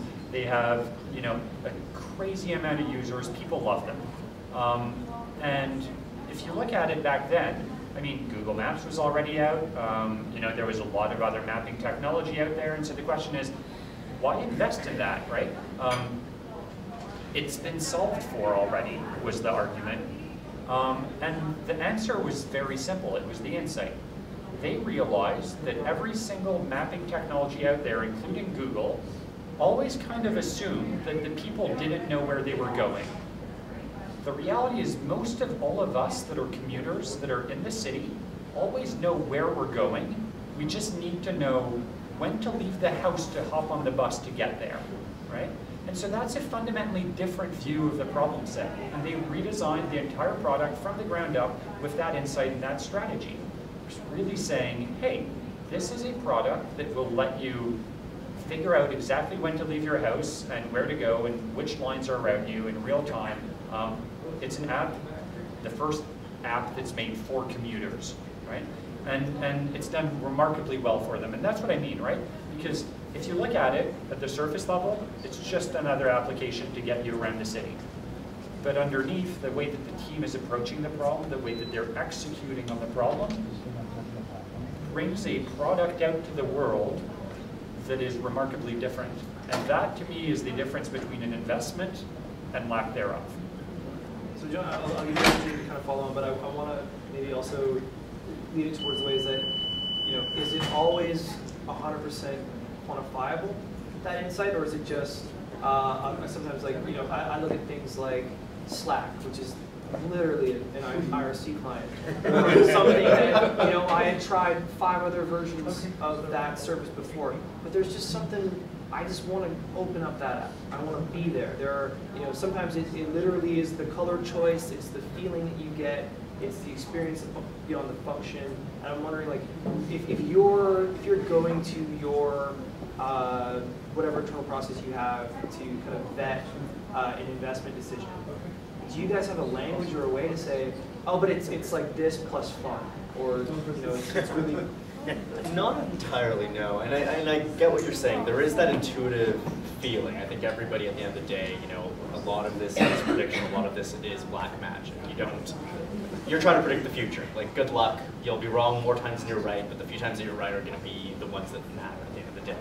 Um, I would say that the proxy that we almost always use, we're a little later than these guys, so we, we have the, the good fortune of having this proxy, is traction. You know, we, I don't need to know that like Slack makes me feel a certain way. I need to look and see that the users you've got, the first users you've got have crazy engagement levels. That The DAU over MAU is through the roof relative to other mobile apps relative to other kind of products in the same category. And that tells me kind of the same story. And then on top of that, if I have a good gut feeling about it, if the market looks big, and if I love the team, then I'm there. But it's, it's definitely a mixture of kind of the quant and the qualitative. So there, there is, a, you may, if you can't measure it directly, you can measure it in I, I will say that like, we have a, I don't know if I should tell the story, but I've been drinking. Tweet um, Tell the story. There's, there's like an inside running joke with, with the team where if my boss, Matt, if he can't fall asleep because of a deal, if it's keeping him up, kill it. Just kill it. Because it's like, it's just his gut. And, but we trust his gut. He's got crazy good intuition. Up to now, he's had the most insane intuition. So, so the, the deal he, he can't figure it out. He can't. He doesn't know compute it. why, but like there's some sort of intuitive notion that something feels wrong to him about it. You know, and he can't like, and potentially like, and every single time that he's ignored that intuition, we've seen like the results. So it's like we, we kind of trust it, even though we don't know why it works. And you, you know what? I mean, it's a fair point because like gut feeling are is basically just knowledge that we can't put into words. It's years of our brain recognizing patterns, literally, right? Like our brain is trained to recognize patterns, and there is some stuff that we can't put into words but have a really strong sense of. And that's what we define as gut feeling. But we're pretty, like if there is one function that we are built to do as humans, because it's a biological evolutionary advantage, it's pattern recognition. That's why you, you know, forget names, but you'll never forget a face, right? You'll never kind of remember somebody's name but forget their face. You'll remember their face but forget their name. Why? Because we're really, really good with patterns, not that good with information. And I've been reminding myself of all your names this entire panel. Okay, so we have, I think, like 10 minutes left, and I want to throw open to QA, but everyone's Sure. drinking, so I don't feel like the desperate need to close this thing There's, off. there's no pressure. Okay. Um, so I guess you know, just following following up on this, when you, the evaluation process, the gut feeling, the things, you, you know, from it, a, a golden edge perspective, you guys have a, a spec- very specific thesis around mobile, and I know from like Highline's perspective, there's at least uh, there has been like maybe some adoption. There was a time where like mobile was a specific thing you guys were looking at, or maybe you had an opportunity to really uh, help with. So I'm, I'm wondering, uh, when it when it comes to a thesis like that, how does that help? Does it help you? Does it help them? And you know, when when we're talking about product now that lives on every device, it lives on the web, it lives in the cloud. Um, you know, how how a mobile app is like infrastructurally, you know, set up on the cloud can mean more than whether the iOS client's good, right? Like, I, it, it, are those PCs still helpful, or how do they impact? I, I think so, and I think what you're seeing is more specialization in venture capital. You know, when we say mobile, I mean everything has a mobile component. It's kind of uh, like to say, oh, you have a mobile app, therefore you are mobile. That's not really how we judge mobile. For us, mobile is it's business structures and business models that are using the fact that everybody now has a little computer in their pockets to do something entirely different. So a great example um, is Joist, you know, where they took a mobile kind of, they, they took this mobile phone and they gave away for contractors to on the job estimate, um, give invoices, estimate, and get paid. Now, something that back in the day they'd have to go all the way back to their offices to send out an invoice or to do an estimation, send out an invoice, hope to get paid, huge friction. They said, forget this, we're going to very easily do, like, let you do this in person immediately so that you don't have as much friction. And because of that, they got a ton of contractors locked in and now they opened up kind of the marketplace, which is non-mobile entirely. You know, so for us, like, it's not just, oh, you have a mobile app or a web, or like a web-friendly or mobile-friendly kind of application. That's, that's not mobile, you know? For us, mobile is fundamentally doing something different because you have a So mobile phone. so it's the wedge to traction. It's the way you get in the door. Yeah, it's it's a way to do something that hasn't been doable before, and a way to do something that like simplifies the process by ten times versus where it used to be. You know, like imagine all of the people nowadays. I mean, for, for the longest time, we've been building software for people who white collar workers who sit in front of their computers. That's been the last, um, I'd say, forever. Yeah, hundred years. Sure, let's go with that. That might be a little much, but close. Um, but in the This last before personal computers actually became Sure, but in the last little while, I mean, I think something like 70% of workers are not white collar. They're blue collar or pink collar. They don't sit in front of the computer. So to ask them to go back to their computers to do all the things that they need to do is insane. We have another portfolio company, Brightwheel, which basically provides um, daycare management software on tablet to, to for, for daycare workers. You know, and the issue for daycare workers is they have to track everything because there's a ton of regulations in the U.S. around dealing with children. Yeah, obviously. parents also Yeah. annoying. Absolutely. but like up to now, they've had to like go and deal with a bunch of like hyperactive children and then run back to the computer, scurry back to the computer to try to do this. So like a mobile option to do that makes it a hundred times better. Um, so that's kind of one big part of our thesis, and we've got two other kind of sub theses.